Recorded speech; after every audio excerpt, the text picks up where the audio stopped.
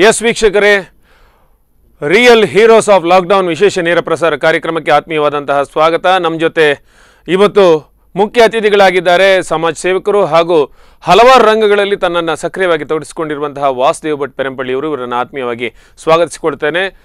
ಅದೇ ರೀತಿಯಾಗಿ ಇನ್ನೊಬ್ಬರು ನಮ್ಮ ಜೊತೆ ಸೇರಿಕೊಳ್ಳಿಕ್ಕಿದ್ದಾರೆ. ಕಿರಣ್ ಮಂಜನಬೈಲು ಅವರು ಹಿರಿಯ ಪತ್ರಕರ್ತರು.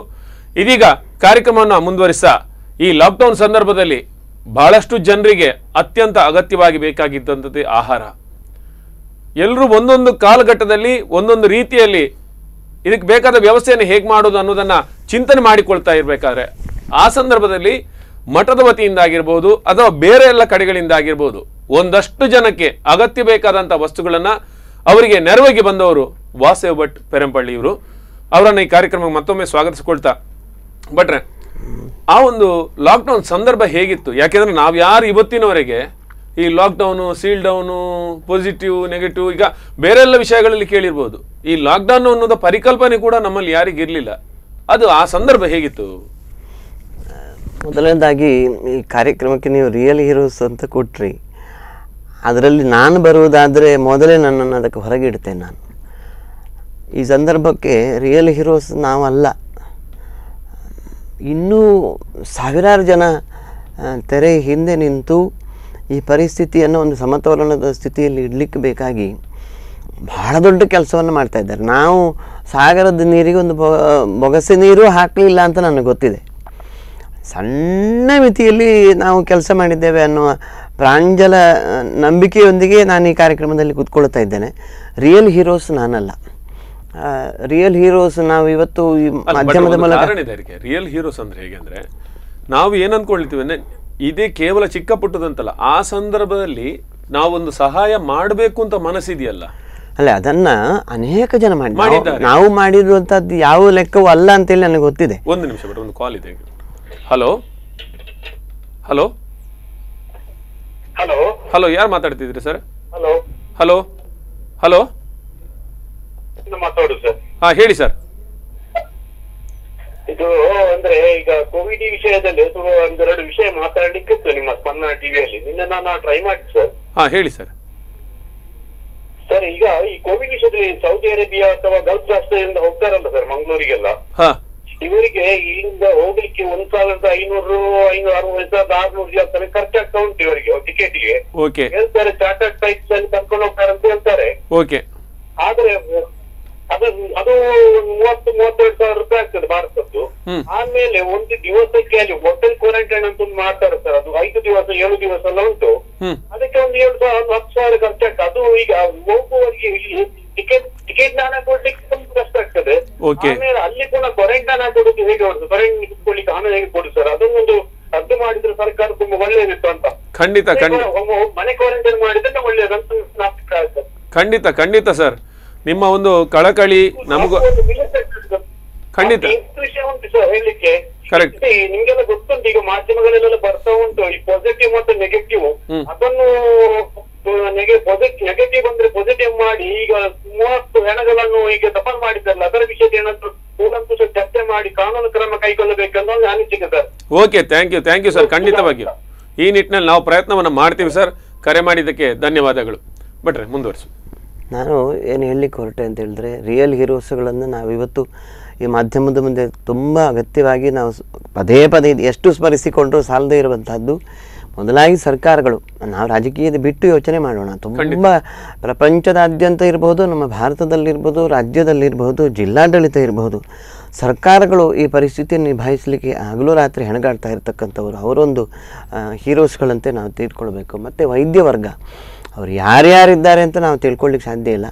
ಅವರೊಟ್ಟಿಗೆ ಆಶಾ ಕಾರ್ಯಕರ್ತರಂತಹ ಸೇವಾ ಕಾರ್ಯಕರ್ತರು, ಸೇವಾ ತತ್ಪರರು, ಆಸ್ಪತ್ರೆಯ ಶುಶ್ರೂಷಕ ಸಿ- ಸಿಬ್ಬಂದಿಗಳಿರ್ಬೋದು, ಜಿಲ್ಲಾಧಿಕಾರಿಗಳಿರ್ಬೋದು, ಪೊಲೀಸ್ ಇಲಾಖೆ ಇರ್ಬೋದು, ಇವರೆಲ್ಲರೂ ಕೂಡ ಈ ಹೊತ್ತಿನ ಹೀರೋಸ್ಗಳು. ಇವರನ್ನು ನಾವು ಎತ್ತರದಲ್ಲಿ ಸ್ಮರಿಸಿಕೊಂಡೇ ನಾವು ಉಡುಪಿಯಲ್ಲಿ ಒಂದು ಎಲ್ಲೇ ಒಂದು ಸಣ್ಣ ಒಂದು ಮೂಲೆಯಲ್ಲಿದ್ದುಕೊಂಡು ಮಾಡಿದ ಕೆಲಸವನ್ನು ನಾನು ಅದನ್ನು ಹೇಳಿಕೊಳ್ಳುವುದು ಕೆಲವು ಸಲ ನನಗೆ ತಪ್ಪು ಅಂತ ಅನ್ನಿಸ್ಬೋದು. ಯಾಕಂದರೆ ಅದೆಲ್ಲ ನಾವು ನಾವು ಏನೂ ಮಾಡಲಿಲ್ಲ ಅನ್ನೋ ನಮಗೆ, ನಮಗಿದೆ. ಉಡುಪಿಯಲ್ಲಿ ಆದರೂ ಕೂಡ ನಾವು ಮಾಡಿದ್ದು ತುಂಬ ಚಿಕ್ಕದೆ. ನಮಗಿಂತ ಇನ್ನೂ ಅನೇಕರು ಉಡುಪಿ ಶಾಸಕರು ನಮ್ಮ ಸಾರ್ವಜನಿಕ ಗಣೇಶೋತ್ಸವ ಸಮಿತಿಯ ಮೂಲಕ ಅದರ ಬಂದಿದ್ದಾರೆ. ಖಂಡಿತ ಬಹಳ ದೊಡ್ಡ ಮಟ್ಟದಲ್ಲಿ ಆಗಿದೆ ಮಠಗಳು. ಅದರ ಜೊತೆಗೆ ಅನೇಕ ಉದ್ಯಮಿಗಳೆಲ್ಲ ಕೆಲಸ ಮಾಡಿದ್ದಾರೆ. ಅವರೆಲ್ಲರ ಕೊಡುಗೆಗಳನ್ನು ನಾವು ಸ್ಮರಿಸಿಕೊಂಡೇ ನಾವು ಮುಂದುವರಿಬೇಕು. ಅದನ್ನು ನಾನು ತುಂಬ ಪ್ರ- ಪ್ರಜ್ಞಾಪೂರ್ವಕವಾಗಿ ನಾನು ಈ ವಾಹಿನಿ ಮೂಲಕ ನಿವೇದಿಸಿಕೊಳ್ಳಿಕ್ಕೆ ಬಯಸ್ತೇನೆ. ಮೊದಲಾಗಿ ಲಾಕ್ಡೌನ್ನ ಬಗ್ಗೆ ನೀವು ಹೇಳಿದ್ರಿ. ಇದು ಇವತ್ತು ಇಡೀ ಪ್ರಪಂಚಕ್ಕೆ ಒಂದು ಹೊಸ ಅನುಭವ. ನಮ್ಮ ತಲೆಮಾರು ಬಿಡಿ. ನಮಗಿಂತ ಎರಡು ತಲೆಮಾರಿನ ಹಿಂದಿನ ಜನ ಕೂಡ ಇವತ್ತು ಹಿರಿಯರು ಹೇಳ್ತಾ ಇರುವಂತಹದ್ದು ನಮ್ಮ ಜೀವಮಾನದಲ್ಲಿ ಇದನ್ನು ನಾವು ನೋಡಲಿಲ್ಲ ಅಂತ. ಕೇಳಲು ಇಲ್ಲ. ಕೇಳು ಇಲ್ಲ ಇದೊಂದು ಯಾರಿಗೂ ಕಲ್ಪನೆಗೂ ಮೀರಿದಂತಹದ್ದಾದ್ರಿಂದ ಇದನ್ನು ಒಂದು ರೀತಿಯಲ್ಲಿ ಗಾಳಿಗುದ್ದಾಟ ಅಂತ ನಾವು ನಗಾಡಬೇಕು ನಾವು ಅಳಬೇಕು ಖೇದ ಪಡಬೇಕು ವಿಷಾದಿಸಬೇಕು ಗೊತ್ತು ನಾವು ಒಂದಷ್ಟು ಟೀಕೆ ಮಾಡ್ಬೋದು. ಅಲ್ಲ ಇದೊಂದು ಹೊಸ ವ್ಯವಸ್ಥೆಯಾಗಿ ಹೋಗಿತ್ತು. ಅಂದ್ರೆ ಹೊಸ ಜೀವನ ಕ್ರಮವಾಗಿ ಹೋಯಿತು ರೂಪುಗೊಂಡಿತ್ತು. ಯಾವುದಂದ್ರೆ ನಮ್ಮನ್ನು ನಾವೇ ಬಂಧನದಲ್ಲಿ ಇಟ್ಟುಕೊಳ್ಳಬೇಕಾದ ಬಂಧನ ಅನ್ನೋದಕ್ಕಿಂತಲೂ ನಮ್ಮ ವೇಗಕ್ಕೆ ಒಂದು ತಡೆ ಹಾಕಿಕೊಳ್ಳುವಂಥ ಅನಿವಾರ್ಯತೆ ಇತ್ತು. ಇವತ್ತು ನಾನು ಮೊನ್ನೆ ಒಂದು ಎರಡು ಮೂರು ದಿನದ ಹಿಂದೆ ಯಾರ ಹತ್ರ ಬಾಯಲ್ಲಿ ಅವರ ಅಭಿಪ್ರಾಯಗಳು ಹೀಗೆ ಮಾತಾಡ್ತಾ ಇರುವಾಗ ಬಂತು. ನಮಗೆ ಇದು ಕೊರೋನಾದ ಮೂಲಕ ಅಲ್ಲದಿದ್ದರೂ ಕೂಡ ವರ್ಷಕ್ಕೊಮ್ಮೆ ಈಗೊಂದು ಹತ್ತು ದಿನ ನಮಗೆ ಒಂದು ಲಾಕ್ಡೌನ್ ಇರೋದು ಒಳ್ಳೇದಲ್ಲ ಅಂತ ಹೇಳುವಂತ ಒಂದು ಮಾನಸಿಕತೆ ಒಬ್ಬರಲ್ಲಿ ಬಂದಿದೆ ಅಂತ ಹೇಳಿದ್ರೆ. ಸಾಧ್ಯತೆಗಳನ್ನ ತೆರೆದಿಟ್ಟಿದೆ ಅದು. ಅದು ಸಾಧ್ಯತೆಗಳನ್ನು ನೀವು ಅನಾವರಣ ಮಾಡ್ಲಿಕ್ಕೆ ಹೋದರೆ ಅದು ಎಂಥ ದೊಡ್ಡ ಗ್ರಂಥ ಆಗ್ತದೆ ಅಂತ ಹೇಳಲಿಕ್ಕೆ ಸಾಧ್ಯ ಇಲ್ಲ. ಇವತ್ತು ನಮಗೆ ಸಾಮಾಜಿಕ ಮಾಧ್ಯಮಗಳು ಜಾಲತಾಣಗಳು ಇರೋದರಿಂದ ನಮಗೆ ಕ್ಷಣ ಕ್ಷಣಕ್ಕೂ ಗೊತ್ತಾಗ್ತಾ ಇದೆ.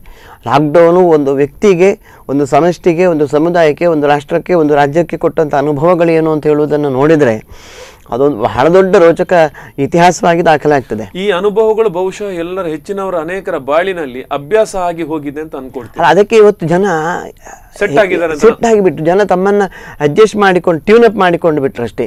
ಅನಿವಾರ್ಯ ಅಂತ ಹೇಳುವಂಥದ್ದು ಗೊತ್ತಾಯ್ತು. ಪ್ರಾರಂಭದಲ್ಲಿ ಹೇ ಅಂತ ಹೇಳುವಂಥ ಇದರಲ್ಲಿ ನಾವು ಇತ್ತು ವೈಯಕ್ತಿಕವಾಗಿ. ಇದೊಂದು ಹತ್ತು ದಿನದಲ್ಲಿ ಮುಗ್ದು ಹೋಗ್ಬೋದು ಅಂತ ಹೇಳಿ.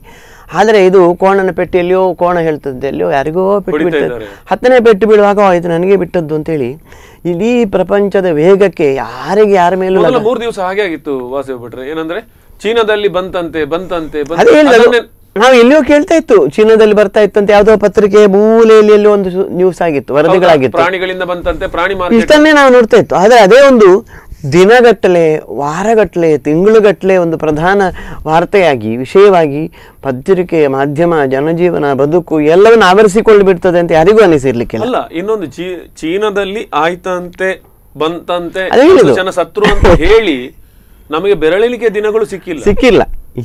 ಎಲ್ಲಾದ್ರೂ ಅಲ್ಲಿಂದ ಈ ಕಡೆ ವರ್ಗಾವಣೆ ಆಗೋದಕ್ಕೆ ಸ್ವಲ್ಪ ಸಮಯ ಸಿಕ್ಲಿಲ್ಲ. ಇದು ನಮಗೆ ಅವಕಾಶವೂ ದೊರೆಯಲಿಲ್ಲ. ಆ ಕಾರಣದಿಂದಾಗ್ಲಿ ಇಪ್ಪತ್ತೊಂದನ್ನು ಹೇಳಿದಂತದ್ದು ಇಪ್ಪತ್ತೆರಡು ಇಪ್ಪತ್ತ್ ಮೂರನೇ ತಾರೀಕಿನಿಂದ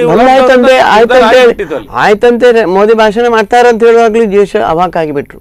ಅಂದ್ರೆ ಈ ಇದು ಮತ್ತೊಂದು ನಾವು ನಾವೆಲ್ಲ ಸ್ವಲ್ಪ ಈ ಸಂಸ್ಕೃತ ಇತಿಹಾಸಗಳು ಪೂರ್ವ ಇತಿಹಾಸಗಳನ್ನೆಲ್ಲ ಪುರಾಣ ಇತಿಹಾಸ ವೇದಗಳನ್ನೆಲ್ಲ ಸ್ವಲ್ಪ ವೇದ ಓದುವವರಿಗೆ ಗೊತ್ತಿರ್ಬೋದು. ಅಣೋರಣೀಯನ ಮಹತೋ ಮಹನಿ ಅಂತ, ಮಹನಿ, ಮಹಿಯನ ಅಂತ.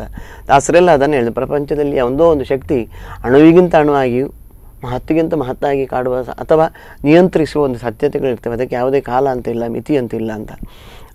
ವೇದಗಳಲ್ಲಿ ಇದನ್ನೇ ಹೇಳ್ತದೆ. ಪ್ರಪಂಚ ಸಂದರ್ಭ ಬಂದಾಗ ಮನು, ಪರ ಪರಮಾತ್ಮ ಅಣುವಿಗಿಂತ ಅಣುವಾಗಿ ಜಗತ್ತನ್ನು ಆಳುತ್ತಾನೆ ಅಂತ. ಇವತ್ತು ನಮಗೆ ಗಾಳಿಗುದ್ದಾಟ ಅಂತ ನಾವು ಮಾತಾಡಿಕೊಳ್ತಾ ಇರೋದು ಅದನ್ನೇ. ಒಂದು ಕಾಣದ ಒಂದು ಅಣುವಿಗಾಗಿ, ಪರಮಾಣುವಿಗಾಗಿ ಇಡೀ ಜಗತ್ತು ತಿಕ್ಕಾಡುವಂಥ ಒಂದು ಪರಿಸ್ಥಿತಿ ಬರ್ತದೆ ಅಂತ ಯಾರೂ ಎನಿಸಿಕೊಂಡೇ ಇರಲಿಲ್ಲ. ಇವತ್ತು ಇಡೀ ಪ್ರಪಂಚವೇ ಒಂದು ಆ, ಯಾರ ಮೇಲೆ ಯಾರಿಗೂ ಕಂಟ್ರೋಲ್ ಇರಲಿಲ್ಲ. ಯಾಕೆ ಓಡ್ತಾ ಇದ್ದೇವೆ ಅಂತ ಕೇಳಿದ್ದಕ್ಕೆ ಅಂದೇನೈವ ನಿಯಮಾನ ಯಥಾಂತ ಅನ್ನೋದೇ ನಮ್ಮೆಲ್ಲರ ಉತ್ತರ ಆಗಿತ್ತು. ಕುರುಡನನ್ನು ಹಿಂಬಾಲಿಸಿಕೊಂಡು ಕುರುಡ ಓಡ್- ಓಡಿದ ಹಾಗೆ ಪ್ರಪಂಚ ಓಡ್ತಾ ಇತ್ತು. ಒಟ್ಟಾರೆ ಏನಂದ್ರೆ ಯಾರ ಹತ್ರ ಕೇಳಿದ್ರು ಪುರ್ಸೋತಿಲ್ಲ. ಕೆಲಸ ಕೇಳಿದ್ರೆ ಕೆಲಸ ಹಾಗೆ ಇತ್ತು ಅಲ್ಲ ಆಗ ಅದರಿಂದ ಯಾರ ಮೇಲೂ ಯಾರಿಗೂ ಕಂಟ್ರೋಲ್ ಇರಲಿಲ್ಲ. ಈಗ ಒಂದು ಕಾರಣದ ಈಗ ಕೈಗೆ ಇಡೀ ಜಗತ್ತು ಸಿಕ್ಕಲಿಲ್ವೇನು ಹಾಗಾದ್ರೆ ಆಗ್ತದೆ ಅಂತ ಆಯಿತು. ಅಂತ ಅದೇ ಅಂದರೆ ಎಲ್ಲರ ಬದುಕಿನ ಒಂದು ಸ ಪ್ರಧಾನ ಟೈಟ್ಲಲ್ಲಿ ಒಂದು ಪುರುಸೊತ್ತಿಲ್ಲ ಅನ್ನೋದೇ ಆಗಿತ್ತು. ಈಗ ಪುರುಸೊತ್ತು. ಪುರುಸೊತ್ತೇ ಬದುಕಾಗಿ ಹೋಯ್ತಲ್ಲ? ಅದೆಲ್ಲ ನೋಡ್ಬೇಕಾದ್ರೆ ಪುರುಷೋತ್ತಿನಲ್ಲಿ ಬದುಕ್ತಾ ಇದ್ದೇವೆ. ಅದು ಆ ಪುರುಷೊತ್ತು ಕೊಟ್ಟಂತ ಅನುಭವಗಳು ಒಬ್ಬೊಬ್ಬರಿಗೆ ಅದೇ ಒಂದು ಬಹಳ ದೊಡ್ಡ ರೋಚಕ ಇತಿಹಾಸ ಆಗಿ ದಾಖಲಾಗ್ತದೆ. ಆಗಬೇಕು ಅಂತ ನಾನು ಭಾವಿಸ್ತಾ ಇದ್ದೆ. ಮೊನ್ನೆ ನಾವು ಮಾತಾಡಿಕೊಳ್ತಾ ಹೇಳ್ತೀವಿ ಉಡುಪಿಯಲ್ಲಿ ಅವರವರ ಮಟ್ಟಿಗೆ ಅವರವರ ವ್ಯಾಪ್ತಿಯಲ್ಲಿ ಈ ಕೊರೋನಾ ಕೊಟ್ಟಂಥ ಅನುಭವಗಳನ್ನು ದಾಖಲಿಸಿಕೊಂಡು ಹೋಗುವ ಕೆಲಸ ಆಗಬೇಕು ಅಂತ.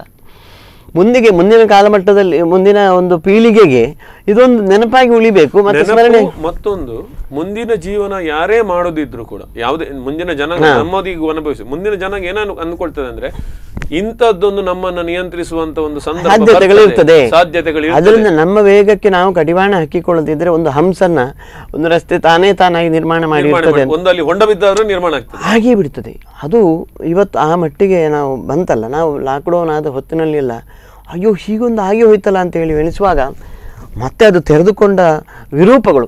ವಿರೂಪಗಳು ಮತ್ತು ಅಲ್ಲಲ್ಲಿ ಪಡ್ಕೊಂಡಂತೇನು ಡೈವರ್ಷನ್ಸ್ ಅಂತ ಹೇಳಿ ಅದೇ ಇಲ್ಲ ಆಯಾಮಗಳು. ಅದು ಎಲ್ಲೆಲ್ಲಿಗೆ ಎಲ್ಲೆಲ್ಲಿ ಹೋಯ್ತು ಅಂತ ನೋಡುವಾಗ ಕೆಲವು ಜನ ಟಿವಿಯನ್ನು ನಾವು ಆಫ್ ಮಾಡಬೇಕಾದ ಪರಿಸ್ಥಿತಿ ಬಂತು. ಅಂದರೆ ಅಳು ಕಂಗಾಲು ನಾವೇನಿಸ್ತಾ ಇತ್ತು ಇದು ಇನ್ನೂ ದೊಡ್ಡ ವ್ಯಾಪಕ ಆಗಿ ಕೊರೋನಾಕ್ಕಿಂತ ಕೊರೋನಾ ತಂದಿಷ್ಟು ಆಪತ್ತುಗಳು ವಿಪತ್ತುಗಳೇ ಜಗತ್ತಿನಲ್ಲಿ ಕಣ್ಣೀರ ಧಾರೆಯನ್ನು ಹರಿಸಬಹುದು ಅಂತ. ಇನ್ನೊಂದು ವಾಸ್ತವ ಬಿಟ್ರೆ ನಾವು ಈಗ ಗಮನಿಸಿದ ಹಾಗೆ ಇಷ್ಟು ವರ್ಷಗಳಲ್ಲಿ ಸಾವಿರದ ಒಂಬೈನೂರು ನಮ್ಮ ಈ ಶತಮಾನಕ್ಕೆ ಹಿಂದಿನ ಹಿಂದಿನ ಶತಮಾನಗಳು ಗಮನಿಸಿದ್ರೆ ದೊಡ್ಡ ದೊಡ್ಡ ಭಯಾನಕ ಕಾಯಿಲೆಗಳು ನಾವು ಬಂದು ಹೋಗಿವೆ. ಆದರೆ ಅದಕ್ಕೆಲ್ಲೂ ತಾರ್ಕಿಕವಾಗಿ ಒಂದು ಅಂತ್ಯವನ್ನು ಕಂಡುಕೊಂಡಿದ್ದಾರೆ. ಒಂದು ಮದ್ದನ್ನು ಕಂಡು ಹುಡುಕುವ ಮೂಲಕ ಅಥವಾ ಅದಕ್ಕೆ ಪರ್ಯಾಯವಾಗಿ ಈ ರೀತಿ ಬರುವುದಿಲ್ಲ ಅನ್ನುವಂತ ಮೂಲಕ. ಆದರೆ ಅದನ್ನೆಲ್ಲವನ್ನು ಮೀರಿ ಕಣ್ಣಿಗೆ ಕಾಣೋದೊಂದು ಮದ್ದೇ ಇಲ್ಲದಂತ ಸುತ್ತ ಅಲ್ಲ ಈಗ ಪ್ಲೇಗ್ ಆಗಲಿ ಮತ್ತೊಂದಾಗಲಿ ಇವತ್ತು ಯಾ ಇವತ್ತು ಕೊರೋನಾ ನಮಗೆ ಕೊರೋನಾದ ತಂದಿದ್ದ ಆಪತ್ತುಗಳು ಅಥವಾ ಅದು ತರ್ತಾ ಇರ್ತಕ್ಕಂಥ ಭಯಾನಕ ಸ್ಥಿತಿಗಳು ಇಷ್ಟು ನಮಗೆ ಕಾಡ್ತಾ ಇರುವಂತಹದ್ದು ಅಥವಾ ನಮ್ಮ ಗೋಚರಕ್ಕೆ ಬರ್ತಾ ಇರುವಂತಹದ್ದು ನಮ್ಮ ಮೀಡಿಯಾಗಳು ವ್ಯವಸ್ಥೆಗಳು ಇವತ್ತು ವಿಜ್ಞಾನ ಮುಂದುವರಿಯೋದ್ರಿಂದ ನಮ್ಮ ಕೈಯಲ್ಲಿ ಮೊಬೈಲ್ ಇರೋದ್ರಿಂದ ಅಷ್ಟು ದೊಡ್ಡ ನಮಗೆ ದುರಂತಗಳು ಕಣ್ಣಿಗೆ ರಾಚುತ್ತಾ ಇದ್ದಾರೆ ಆದರೆ ನಮ್ಮ ಹಿರಿಯರೆಲ್ಲ ನಮ್ಮ ತಾಯಿ ಹೇಳ್ತಾ ಇದ್ದರು ನಮ್ಮ ಹಿರಿಯರೆಲ್ಲ ಕೆಲವರು ಹೇಳ್ತಾ ಇದ್ದನ್ನು ಕೇಳ್ತಾ ಇದ್ದೇವೆ. ಪ್ಲೇಗು ಕೂಡ ಇಷ್ಟೇ ದೊಡ್ಡ ಆಪತ್ತು ತಂದಿತ್ತು ಆದರೆ ಅದು ಪ್ರಪಂಚಕ್ಕೆ ಸಮಾನ ಮಾಧ್ಯಮಗಳು ಇಲ್ಲದರಿಂದ ಅದು ಗೊತ್ತಾಗ್ತಾ ಇರಲಿಲ್ಲ. ಪ್ರಕಟಗೊಳ್ಳಿಲ್ಲ ಪ್ರಕಟ ಪ್ರಕಟಗೊಂಡೆ ಅದು ಸಮಾಜಕ್ಕೆ ಬಹಿರಂಗ ಯಾರಿಗೂ ಅದು ಅಭಿವ್ಯಕ್ತಕ್ಕೆ ಬರ್ತಿಲ್ಲ. ಒಂದು ನ್ಯೂಸ್ ಬರಬೇಕಾದ್ರೆ ಒಂದು ಹಳ್ಳಿಗೆ ಮೂರು ದಿನದ ನಂತರ ಎಲ್ಲಿಯೋ ಒಂದು ಕಾಯಿಲೆ ಬರ್ತಾ ಬಂದಿದ್ದಂತೆ ಅದು ಮೂರು ದಿನದ ನಂತರ ಎಲ್ಲಿಯೋ ಗೂಡಂಗಡಿಯಲ್ಲಿ ಮಾತಾಡಿಕೊಳ್ಳೋದು ಹಳ್ಳಿಯ ಆಗಿನ ವಾತಾವರಣ ಆಗ ಉಡುಪಿಯಲ್ಲಿಯೂ ಅಷ್ಟೇ ಬಹಳ ಸಾವಿರಾರು ಜನ ಸತ್ತಿದ್ರು ಅಂತ ನಮ್ಮ ಹಿರಿಯರು ಹೇಳಿದನ್ನು ಕೇಳ್ತಾ ಇದ್ದೇವೆ. ಅಂದರೆ ಈಗಿನ ವ್ಯವಸ್ಥೆ ನಮಗೆ ಅದು ದುರಂತ ಕಣ್ಣಿಗೆ ರಾಚತಾ ಇರುವುದಕ್ಕೆ ನಮಗೆ ಸಾಮಾಜಿಕ ವ್ಯವಸ್ಥೆ ವ್ಯವಸ್ಥೆಗಳು ಒಂದು ಬಟ್ರೆ ಆಗಿನ ಜನಸಂಖ್ಯೆಗೆ ಈಗಿನ ಜನಸಂಖ್ಯೆಗೆ ಹೋಲಿಸಿದ್ರೆ ಇಂತಹ ಒಂದು ಸಾಮಾಜಿಕ ಮಾಧ್ಯಮ ಅಥವಾ ಆಗಾಗ ಸಿಗುವಂತ ಇನ್ಫಾರ್ಮೇಶನ್ ಸಿಗದಿರ್ತಿದ್ರೆ ತುಂಬಾ ಕಷ್ಟ ಆಗ್ತಿತ್ತು ಇವರನ್ನು ನಿಯಂತ್ರಣ ಮಾಡೋದು ಇದು ಇದು ಮತ್ತು ವಿರೂಪಕ್ಕೆ ತೆಗೆದುಕೊಳ್ತಿತ್ತೇನೋ? ಈಗ ನಾವು ನಾವು ಸರ್ಕಾರಗಳನ್ನು ನೋಡುವಾಗ ನಮಗೆ ಒಂದು ಸಲ ಸಹಾನುಭೂತಿ ಅನ್ನಿಸ್ತದೆ ಕನಿಕರ ಅನ್ನಿಸ್ತದೆ ಸರ್ಕಾರಗಳು ದಿನಕ್ಕೊಂದು ನಿರ್ಧಾರಗಳನ್ನು ತೆಗೆದುಕೊಳ್ತಾ ಇರುವಾಗ. ಅಂದರೆ ಸರ್ಕಾರಗಳ ನಿಯಂತ್ರಣಕ್ಕೂ ಇದು ಸಿಗ್ತಾ ಇಲ್ಲ. ಸರ್ಕಾರದ ವ್ಯವಸ್ಥೆಯ ಇದಕ್ಕೂ ಮಿತ್ ಪರಿಮಿತಿಗೂ ಇದು ಮೀರಿ ಬೆಳೆದು ಬಿಟ್ಟಿದೆ. ಅದರಿಂದ ಇವತ್ತು ಸರ್ಕಾರ ಲಾಕ್ಡೌನ್ ಮಾಡಿತಂತೆ. ಒಂದು ರೀತಿಯಲ್ಲಿ ಇದು ಲಾಕ್ಡೌನ್ ಅಂತ ಹೇಳುವಂತಹ ಅದು ಕ್ಲೀಶೆಗೆ ಒಳಗಾಗುವಂಥ ಪರಿಸ್ಥಿತಿ ಬಂದು ಹೋಗಿದೆ. ಒಟ್ಟಾರೆಯಾಗಿ ಏನಾಗಿದೆ ಅಂದ್ರೆ ಒಂದು ನಮ್ಮ ಸರ್ಕಾರ ಇರ್ಬೋದು ಅಥವಾ ವೈಯಕ್ತಿಕ ಜೀವನ ಇದನ್ನೇ ಗೊಂದಲ ಮಾಡಿಟ್ಟು ಹೋಗಿದೆ ಅಂತ ಹೇಳ್ಬೋದು. ಅಂದ್ರೆ ನಮಗೆ ಯಾವುದನ್ನು ಮಾಡಬೇಕು ಯಾವುದನ್ನು ಮಾಡಬಾರ್ದು ಇವತ್ತು ಹೋಗ್ಬೋದಾ ಗೊಂದಲ ಅದು ಮಾಡಿದ್ದಲ್ಲ. ಗೊಂದಲಕ್ಕೆ ಒಳಗಾದದ್ದು ನಾವು ಯಾಕಂದ್ರೆ ನಮಗೆ ಇದು ಹೊಸ ವ್ಯವಸ್ಥೆ. ಹೊಸ ವ್ಯವಸ್ಥೆ. ನಮಗಿದು ಕಂಡು ಕೇಳಿ ಆದ್ದರಿಂದ ನಾವು ಇದಕ್ಕೆ ಅಡ್ಜಸ್ಟ್ ಆಗಲಿಕ್ಕೆ ನಾವು ಇನ್ನೂ ಸರಿ ಆಗಲಿಲ್ಲ. ಎಲ್ಲೋ ಒಂದು ಅಲ್ಲಿಗೆ ಅಲ್ಲಿಗೆ ಹೊಂದಿಸಿಕೊಂಡು ಕುತ್ಕೊಳ್ಳಿಕ್ಕೆ ವ್ಯವಸ್ಥೆ ಮಾಡಿಕೊಂಡಿದ್ದೇವೆ ಬಿಟ್ಟರೆ ಕೊರೋನಾದೊಂದಿಗಿನ ಬದುಕು ನಮಗೆ ಇನ್ನೂ ಅರ್ಥ ಆಗಲಿಲ್ಲ. ಇನ್ನು ಹೇಗಂತ ಈಗ ಮತ್ತೆ ನೀವು ನೀವು ಹೇಳ್ತೀರಿ ಸೆಕೆಂಡ್ ಜನರೇಷನ್ ಅಂತೆ ಮತ್ತು ಇದು ಹೊಸ ಸ್ವರೂಪವನ್ನು ಇದರ ಲಕ್ಷಣಗಳನ್ನು ಸ್ವರೂಪ ಸ್ವರೂಪದಲ್ಲಿ ಸ್ವರೂಪ ಲಕ್ಷಣಗಳನ್ನು ಅದರ ಗುಣಲಕ್ಷಣಗಳನ್ನು ಬೇರೆ ಬೇರೆ ರೀತಿ ಹೇಳುವಾಗ ಇಲ್ಲ ಮಾರ ಇನ್ನು ಅದು ಮಾಡಬಾರ್ದಂತೆ. ಮೊನ್ನೆವರೆಗೆ ಶೀತ ಇರೋರು ಹತ್ರ ಹೋಗಬಾರ್ದಿತ್ತಂತೆ ಸೋಷಿಯಲಿಸ್ಟ್ ಸಾಮಾಜಿಕ ಅಂತರ ಬೇಕಿತ್ತಂತೆ ಎಲ್ಲ ಸರಿ. ಈಗ ಅದನ್ನು ಮೀರಿ ಕಾಯಿಲೆ ಬರ್ತಾ ಇದೆ ಅಂತ ಹೇಳುವಾಗ ಮತ್ತೊಂದು ನಮಗೆ ಮತ್ತೊಂದು ವ್ಯವಸ್ಥೆಗೆ ನಾವು ಸಿದ್ಧರಾಗಬೇಕಾಯ್ತು. ಖಂಡಿತ. ಅದರಿಂದ ಇದು ಎಲ್ಲವನ್ನು ಮೀರಿ ನಮ್ಮನ್ನು ಇದು ನಿಯಂತ್ರಿಸ್ತಾ ಇದೆಯೋ ಅಥವಾ ನಮ್ಮನ್ನು ಆಟಾಡಿಸ್ತಾ ಇದೆ ಅಂತವೋ ಅಥವಾ ಜಗತ್ತಿನ ಮೇಲೆ ಒಂದು ಸವಾರಿ ಮಾಡ್ತಾ ಸವಾರಿ ಅಂತ ಭಾವಿಸಬೇಕಾದಿಲ್ಲ. ಸ್ವಯಂಕೃತ ಅಥವಾ ಮನುಷ್ಯದ ಸ್ವಯಂಕೃತ ಅಪರಾಧಕ್ಕೆ ನಾವು ಮಾಡ್ತಾ ಇರುವಂತಹ ಕೊಡ್ತಾ ಇರುವಂತಹ ಬೆಲೆಯೋ ಬೆಲೆ ತೆರಬೇಕಾದ ಪರಿಸ್ಥಿತಿ. ಅಥವಾ ಪ್ರಪಂಚವನ್ನು ಬ್ಯಾಲೆನ್ಸ್ ಮಾಡಲಿಕ್ಕೆ ಒಂದು ಯಾವುದೋ ಒಂದು ಪ್ರಕೃತಿ ಖಂಡಿತ ಇದು ಆಗುದು ಹಾಗೆ. ಪ್ರಕೃತಿ ತನ್ನ ಸ್ಥಿತಿಯಲ್ಲಿ ಸಮತೋಲನತೆಯನ್ನು ಕಾಪಾಡಿಕೊಳ್ಳಿಕ್ಕೆ ಮನುಷ್ಯ ಅಸಮರ್ಥ ಆದಾಗ ಮನುಷ್ಯ ಬಹಳಷ್ಟು ಸಲ ನಾವು ಹಳ್ಳೇಬೇಕು. ಮಾಡಲೇಬೇಕು. ಅಲ್ಲ ಒಂದಾಯ್ತು. ಮಡಿಕೇರಿಯ ನಾವು ಹೋದ ವರ್ಷದ ಒಂದು ಯಾವುದು ಭೂಕುಸಿತ ಮಡಿಕೇರಿ ಬೆಳಗಾವಿ ನಾವು ಹೋಯ್ತಲ್ಲ. ನಾವು ಆಚೆ ಉತ್ತರ ಕರ್ನಾಟಕದ ನೆರೆ ಪರಿಸ್ಥಿತಿಯನ್ನು ನೋಡಿದಾಗ ಅಲ್ಲಿಯ ಜನರ ಪರಿಸ್ಥಿತಿಗಳನ್ನು ನಾವು ಕಣ್ಣಾರಿ ಕಂಡು ಬಂದಾಗಲೂ ಆಗ ಪ್ರಕೃತಿ ಅದೊಂದು ದಾರಿಯನ್ನು ಕಂಡುಕೊಂಡಿದೆ ಭೂಮಿಯ ಮೇಲೆ ಒಂದಷ್ಟು ಮಹಡಿಯ ಕಟ್ಟಗಳನ್ನು ಕಟ್ಟಿ ನಾವು ಸಾಧನೆ ಮಾಡಿದ್ದೀವಿ ಅಂತ ಅಂದ್ಕೊಂಡಾಗ ಪ್ರಕೃತಿ ಎಲ್ಲಾದ್ರೂ ಒಂದು ಚೂರು ಮೈ ಅಲಗಿಸಿದ್ರು ಸಾಕು ಅದನ್ನು ನಾವು ಎಣಿಸ್ಲಿಲ್ಲ. ಇದೆಲ್ಲ ಕೆಲವು ಸಲ ಎಣಿಸೋದು ನಾವೆಲ್ಲ ಈಗ ಎಲ್ಲರಿಗೆ ಗೊತ್ತಾ? ಕನಿಷ್ಠ ಬುದ್ಧಿ ಇರುವವನಿಂದ ಹಿಡಿದು ಪರಮೋಚ್ಚ ಜ್ಞಾನಿಗಳವರೆಗೆ ಕೊರೋನಾ ಒಂದಷ್ಟು ವ್ಯಾಖ್ಯಾನಗಳನ್ನು ತಂದುಕೊಟ್ಟಿದೆ. ಎಲ್ರಿಗೂ ಕೆಲವು ಬದುಕಿಗೆ ಹೊಸ ನಿರೂಪಣೆಯನ್ನು ತಂದುಕೊಟ್ಟು ನಿರೂಪಣೆ ಪುಟ್ಟ ಮಗು ಬೇರೆ ರೀತಿಯಲ್ಲಿ ವ್ಯಾಖ್ಯಾನ ಮಾಡ್ತಾ ಇದೆ. ಕೆಲವರು ಹೇಳೋದು ನಾವು ಮಾಡಿದ ಅಪರಾಧಕ್ಕೆ ಅನುಭವಿಸುವ ಶಿಕ್ಷೆ ಅಂತ. ಇಲ್ಲ ಇದು ನಮಗೆ ಬೇಕಿತ್ತು ನಾವು ಒಂದು ಸ್ವಲ್ಪ ನಮ್ಮ ವೇಗಕ್ಕೆ ತಡೆ ಬೇಕಿತ್ತು ಅಂತ. ಅವರವರ ಮಿತಿಯಲ್ಲಿ ಅವರವರ ವ್ಯಾಪ್ತಿಯಲ್ಲಿ ಅವರು ಅದನ್ನು ವ್ಯಾಖ್ಯಾನಿಸುವಾಗ ಎಲ್ಲವೂ ಹೌದೇ. ಅವನವನ ಬುದ್ಧಿಗೆ ರತನ್ ಟಾಟಾ ಅವರು ಬಹಳ ದೊಡ್ಡ ಮಾತನ್ನು ಹೇಳಿದ್ರು. ಎರಡು ಸಾವಿರದ ಇಪ್ಪತ್ತು ನೀವು ಲಾಭ ನಷ್ಟವನ್ನು ಲೆಕ್ಕ ಹಾಕುವ ವರ್ಷವೇ ಅಲ್ಲ ಅಂತ ಹಾಕಬೇಡಿ ಅಂತ ಹೇಳ್ತಾ ಇದ್ದಾರೆ. ಅದು ಬಹಳ ದೊಡ್ಡ ಮಾತದು ಈ ವರ್ಷ ನಾವು ಉಳಿಬೇಕು. ನಾವು ಬದುಕಬೇಕು ಪ್ರತಿ ಬಾರಿ ಹೇಳ್ತಾ ಇದ್ದಾರೆ. ಅದೇ ದೊಡ್ಡ ಮಾತು. ಅದು ಬಹಳ ದೊಡ್ಡ ವ್ಯಾಖ್ಯಾನ. ಅದರಲ್ಲಿ ನಾವು ಬದುಕಿದ್ರೆ ಮಾತ್ರ ಅದೆಲ್ಲವೂ ಅಂತ. ಅದು ಉಳಿ ಉಳಿಬೇಕು. ನಮ್ಮ ಉಳಿಯುವ ವರ್ಷ ನಮ್ಮ ಬದುಕಿನ ವರ್ಷ ಅಂತ ಹೇಳುವಲ್ಲಿ ಬಹಳ ದೊಡ್ಡ ಅರ್ಥ ಇದೆ. ನಾವು ಹೇಗೆ ಬದುಕಬೇಕು ಇನ್ನು ಅನ್ನೋದನ್ನು ವ್ಯಾಖ್ಯಾನ ಮಾಡಿಕೊಳ್ಳಿ. ನಾವು ಬದುಕುಲಕ್ಕೆ ಎಷ್ಟು ಸಾಧ್ಯತೆ ಇದೆ ಅಂತ ಒಂದು ಅವಲೋಕನವನ್ನು ಮಾಡಿಕೊಂಡು ಮುಂದೆ ಹೆಜ್ಜೆ ಇಡಿದ. ಎಲ್ಲವೂ ಅದರಲ್ಲಿ ಸ್ಥೂಲವಾಗಿ. ಸ್ಥೂ- ಸೂಕ್ಷ್ಮವಾಗಿ ಅಡಕ ಆ ಮಾತಿನಲ್ಲಿ ಬಹಳ ಒಂದು ಅರ್ಥವಾದಂತ ಮಾತನ್ನು ನಾನು ತಿಳ್ಕೊಂಡು ನಾವು ಭಾವಿಸ್ತಾ ಇದ್ದೇವೆ. ಅಂದ್ರೆ ಅದು ಬಹಳಷ್ಟು ಸಾಧ್ಯತೆಗಳನ್ನು ಆಗದಿದ್ರೆ ಪ್ರಕೃತಿ ತನಗೆ ತಾನೇ ಉತ್ತರ ಕಂಡುಕೊಳ್ಳುವ ಎಲ್ಲ ಸಾಮರ್ಥ್ಯವನ್ನು ಪ್ರಕೃತಿಯ ಅಗಾಧತೆಯನ್ನು ಪ್ರಕೃತಿಯ ಮುಂದೆ ನಾವು ಏನೇನು ಅಲ್ಲ ಅಂತ ಹೇಳುವ ಪರಮ ಸತ್ಯವನ್ನು ಅರ್ಥ ಮಾಡಿಕೊಳ್ಳದಿದ್ದರೆ ಕೊರೋನಾ ಮತ್ತೊಂದು ರೂಪದಲ್ಲಿ ಬರಬಹುದು. ಯಾವತ್ತು ಯಾವ ಸಂದರ್ಭ ಬರಬೋದಕ್ಕೆ ಯಾವ ಗಳಿಗೆ ಅಂತಿಲ್ಲ ಗಳಿಗೆ ನಾವು ಮಾಡಿಕೊಂಡದ್ದು ನಮ್ಮ ಕೈಯಲ್ಲಿ ಆಚಿರುವುದು ಪ್ರಕೃತಿ ಗಳಿಗೆ ಬಹುಶಃ ಒಂದಷ್ಟು ಅವಕಾಶಗಳನ್ನು ನಮಗೆ ಬದುಕಿನಲ್ಲಿ ಕೊಡಲಾಗಿತ್ತು. ನಾವು ಅದನ್ನು ಮೀರಿ ಮೀರಿ ಮೇಲ್ತವ ಇದು ಏನಾಗಿದೆ? ಅದೇ ಹೇಳಿದೆ ರಾಮ್ ಬ್ರಹ್ಮಾಸ್ಮಿ ಕಾಲದಲ್ಲಿ ನಾವಿದ್ದೇವೆ. ಹಿರಿಯರೆಲ್ಲ ಈ ದೇವರ ಭಯವೇ ಜ್ಞಾನದ ಆರಂಭ ಅಂತ ನಾವು ಪ್ರಾಥಮಿಕ ಶಾಲೆಯಲ್ಲೆಲ್ಲ ಕಲಿತೇವೆ. ಬಾಯಿಪಾಠ ಹೊಡಿತೇವೆ ಶಾಲೆಯ ಗೋಡೆಗಳಲ್ಲೆಲ್ಲ ಇತ್ತು ಇದರ ಅರ್ಥ ಏನು ಅಂತ ನಾನು ಎಷ್ಟೋ ಸಲ ತಡಕಾಡ್ತಾ ಇರುವ ಹೊತ್ತಿನಲ್ಲಿ ಒಂದಷ್ಟು ಓದಿದ ಒಂದು ಒಂದು ಅವಕಾಶ ಸಿಕ್ಕಿದಾಗೆಲ್ಲ ಅನಿಸಿದ್ದು. ಈ ಜಗತ್ತಿನಲ್ಲಿ ದೇವರು ಇದ್ದಾನೆ ಇಲ್ಲವೋ ಅವನವನ ನಂಬಿಕೆಗೆ ಬಿಡೋಣ. ಆದರೆ ಹಿರಿಯರು ನಮಗೆ ಕೊಟ್ಟಂಥ ಒಂದು ಎಚ್ಚರಿಕೆ ಇದೆ ಅಲ್ಲ. ನಾವು ಯಾವುದೋ ಒಂದು ಭಯ ಇಲ್ಲ ಅಂತಾದರೆ ನೀನೇ ಅಹಂ ಬ್ರಹ್ಮಾಸ್ಮಿ ಅಂತ ಹೇಳುವ ಕಾಲಘಟ್ಟಕ್ಕೆ ನೀನು ಬಂದರೆ ನೀವು ಪ್ರಪಂಚದಲ್ಲಿ ಪೆಟ್ಟೆ ತಿಂತೀರಿ ಅಂತ ಹೇಳುವಂಥ ಹಿರಿಯರು, ಅದು ಒಂದು ಭಯ ಇಲ್ಲದಿದ್ದರೆ ನಂಬಿಕೆಟ್ಟವರಿಲ್ಲವು ನಂಬಿ ನಂಬಿ ಕೆಟ್ಟವರಿಲ್ಲ ಅಂತ ಹೇಳುವಂಥ ಸತ್ಯ. ಆದರೆ ನಂಬಿ, ನಂಬದೇ ಕೆಟ್ಟರೆ ಕೆಡಲಿ ಅಂತ. ಈ ನೀವು, ಈ ದೇವರ ಭಯವೇ ಜ್ಞಾನದ ಆರಂಭ ಅಂತ ನಮಗೆ ಪ್ರಾಥಮಿಕ ಶಾಲೆಯಲ್ಲಿ ಹೇಳಿಕೊಡ್ತಾ ಇದ್ರು. ದೇವರು ಅನ್ನುವ ಶಕ್ತಿ ನಾನು ಜೀವನದಲ್ಲಿ ತಪ್ಪು ದಾರಿಗೆ ಹೋದರೆ ನಮ್ಮನ್ನು ಶಿಕ್ಷಿಸ್ತದೆ ಅಂತ ಹೇಳುವ ಎಚ್ಚರ ನನ್ನನ್ನು ಸರಿದಾರಿಗೆ ತೆಗೆದುಕೊಂಡು ಹೋಗ್ಲಿಕ್ಕೆ ಒಂದು ಪ್ರೇರಣೆಯ ಮಾರ್ಗದರ್ಶಿಯೋ ಆಗಿದೆ ನಮಗೆ ನಮ್ಗೆ ಇದನ್ನು ಹೇಳಿಕೊಟ್ಟು ನಮಗೆ ನಾವಿವತ್ತು ದೇವರ ಬಗ್ಗೆ ಏನೇನು ವ್ಯಾಖ್ಯಾನ ಮಾಡ್ತಾ ಇರ್ಬೋದು ಅಸಂಬದ್ಧವಾಗಿ ಹೇಳ್ಕೊಳ್ತಾ ಇರ್ಬೋದು. ಆದರೆ ನಂಬಿದವರಿಗಂತೂ ಇದು ಎಚ್ಚರಿಕೆಯನ್ನು ಕೊಟ್ಟೆ ಕೊಟ್ಟಿದೆ. ಬಹುಶಃ ನಾವು ದೇವರನ್ನ ನಿಯಂತ್ರಿಸಲಿಕ್ಕೆ ಹೊರಟಾಗ. ಇದು ಆದಂತಹ ಹಾಗೆ. ಇದು ಏನಾಯ್ತು? ಕೊನೆ ಈಗ ಆಗ ಈಗ ನಮ್ಗೆ ಅದು ಅರ್ಥ ಆಗಬೇಕು. ಆಗ ಪ್ರಾಥಮಿಕ ಶಾಲೆಯಲ್ಲಿ ಹೇಳಿದ್ದೇ ಸತ್ಯ. ದೇವರ ಭಯ ಇಲ್ಲದಿದ್ದರೆ ಅಹಂ ಬ್ರಹ್ಮ ಆಗ ಇಲ್ಲ ಅದಕ್ಕೆ ಹೇಳಿದ್ದು ತತ್ವಮಸಿ ಸೋಹಂ ಬ್ರಹ್ಮ. ನೀನೇ ಅಂತ ಹೇಳುವಂಥ ಇದಕ್ಕೆ ಜಗತ್ತು ಜಗತ್ತು ನಮ್ಮ ಹಿರಿಯರೆಲ್ಲ ಜ್ಞಾನದ ಮೂಲಕ ಅಂತ ತಪಸ್ಸನ್ನು ಜ್ಞಾನಗಳನ್ನು ಕೊಟ್ಟರು ತಿಳುವಳಿಕೆಯನ್ನು ಕೊಟ್ಟರು ತತ್ವ ಅಂತೇಳಿ ಆ ತತ್ ತತ್ವಮಸಿ ತತ್ವಂ ಮಸಿ ಅಂತ ಯಾವುದೋ ಒಂದು ಅಲ್ಲ ಊಹೆ ಅಲ್ಲ. ಯಾವುದೋ ಅತಿನಿಯಾಮಕ ಶಕ್ತಿ ಜಗತ್ತಿನಲ್ಲಿ ನಮ್ಮ ನಮ್ಮನ್ನು ನಿಯಂತ್ರಿಸ್ತಾ ಇದೆ. ಅದೇ ಸತ್ಯ. ಅದಕ್ಕೆ ನಾವು ಶರಣಾಗಬೇಕು ಅಂತ. ನಾವೆಂತ ಮಾಡಿದ್ವು? ಅಹಂ ಬ್ರಹ್ಮಾಸ್ಮಿ ಕಾಲಘಟ್ಟಕ್ಕೆ ಬಂದೆವು. ಅಹಂ ಬ್ರಹ್ಮಾಸ್ಮಿ ಅಂತ ಹೇಳಿದ್ರೆ ಯಾರು ಬ್ರಹ್ಮಾಸ್ಮಿ? ಅಂತ ನಾನು ತೋರಿಸಿಕೊಡ್ತೇನೆ ಅಂತ ಇವತ್ತು ಪ್ರಕೃತಿ ನಮ್ಮೊಟ್ಟಿಗೆ ಸಂಘರ್ಷಕ್ಕೆ ಇಳಿತು ನಾವು ಸೋಲೊಪ್ಪಲೇಬೇಕಾದಂಥ ಪರಿಸ್ಥಿತಿ. ಇವತ್ತು ಇಂಥ ವಿಪತ್ತುಗಳು ವಿಕಲ್ಪಗಳು ಪ್ರತಿಕೂಲ ಪರಿಸ್ಥಿತಿಗಳು ಹಿಂದೆ ಕೂಡ ಸಾಕಷ್ಟು ನಾವೆಲ್ಲ ಮಾತಾಡಿಕೊಂಡಿದ್ದೀವಿ. ಯುದ್ಧದ ರೂಪದಲ್ಲಿ ಬಂತು ನಾವು ನಾವು ಹೊಡ್ಕೊಂಡು ಸತ್ತೇವೋ ಯಾದವಿ ಕಲಹಗಳಾಯ್ತೋ ಏನೇನೋ. ಆದರೆ ಇವತ್ತು ನಮಗೆ ನಮ್ಮ ದೃಷ್ಟಿಗೆ ನಮ್ಮ ಬದುಕಿನ ಕಾಲಘಟ್ಟದಲ್ಲಿ ಕೊರೋನಾ ಒಂದು ಬಹಳ ದೊಡ್ಡ ಪಾಠವಾಗಿ ನಮಗೆಲ್ರಿಗೂ ಒದಗಿ ಬಂತು. ಆ ಹೊತ್ತಿನಲ್ಲಿ ನಾವೆಲ್ಲ ಏನಾಯಿತು? ಪರಸ್ಪರಂ ಭಾವಯಂತ ಅಂತ ಒಂದಷ್ಟು ಸಂಕಷ್ಟದಲ್ಲಿರುವಂತಹ ರೋದನಗಳು ಎಲ್ಲ ಸಮಾಜದಲ್ಲಿ ಕಂಡು ಬರ್ತಾ ಇರಬೇಕಾದ್ರೆ ಎಲ್ಲರೂ ಮಠಮಾನ್ಯರು ಸೇರಿಕೊಂಡಾಗ ನಾವು ಕೂಡ ಆ ದಾರಿಯಲ್ಲಿ ಸೇರಿಕೊಂಡೇವೆ ಅಷ್ಟೇ. ಅದು ಬಿಟ್ಟರೆ ನಾವು ಹೀರೋಗಳಲ್ಲ ನಾವು ಹೀರೋಗಳನ್ನು ಅವಲಂಬಿಸಿತು. ಖಂಡಿತ. ಈಗ ಒಂದಷ್ಟು ಮಾತುಗಳನ್ನು ಮುಂದುವರಿಸ್ತೀವಿ ಚಿಕ್ಕ ವಿರಾಮದ ಬಳಿಕ.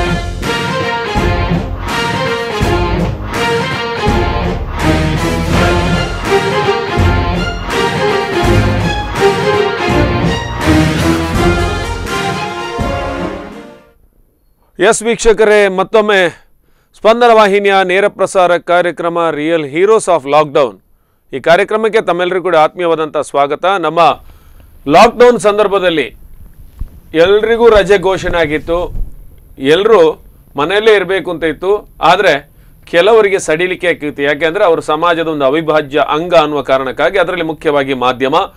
ಇವತ್ತಿನ ದಿನ ಆ ಮಾಧ್ಯಮ ಮಿತ್ರರ ಪರವಾಗಿ ಅವರ ಪ್ರತಿನಿಧಿಯಾಗಿ ನಮ್ಮ ಇವತ್ತಿನ ಈ ವಿಶೇಷ ಕಾರ್ಯಕ್ರಮಕ್ಕೆ ಆಗಮಿಸಿದ್ದಾರೆ ಶ್ರೀ ಕಿರಣ್ ಮಂಜನ್ ಬೈಲು ಅವರು. ಅವರನ್ನ ಆತ್ಮೀಯವಾಗಿ ಸ್ವಾಗತಿಸಿಕೊಳ್ತಾ ಇದ್ದೇನೆ. ನಮಸ್ಕಾರ.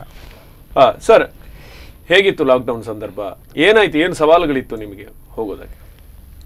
ಆದರೆ ಮಾಧ್ಯಮಕ್ಕೆ ಏನು ಕಷ್ಟ ಇತ್ತು? ಕೊರೋನಾ ಅನ್ನುವಂಥದ್ದು ಮಾಧ್ಯಮವೂ ಸೇರಿದಂತೆ ಎಲ್ಲ ವಲಯಗಳಿಗೂ ಕೂಡ ಒಂದು ವಿಶೇಷವಾದಂಥ ಅನುಭವ.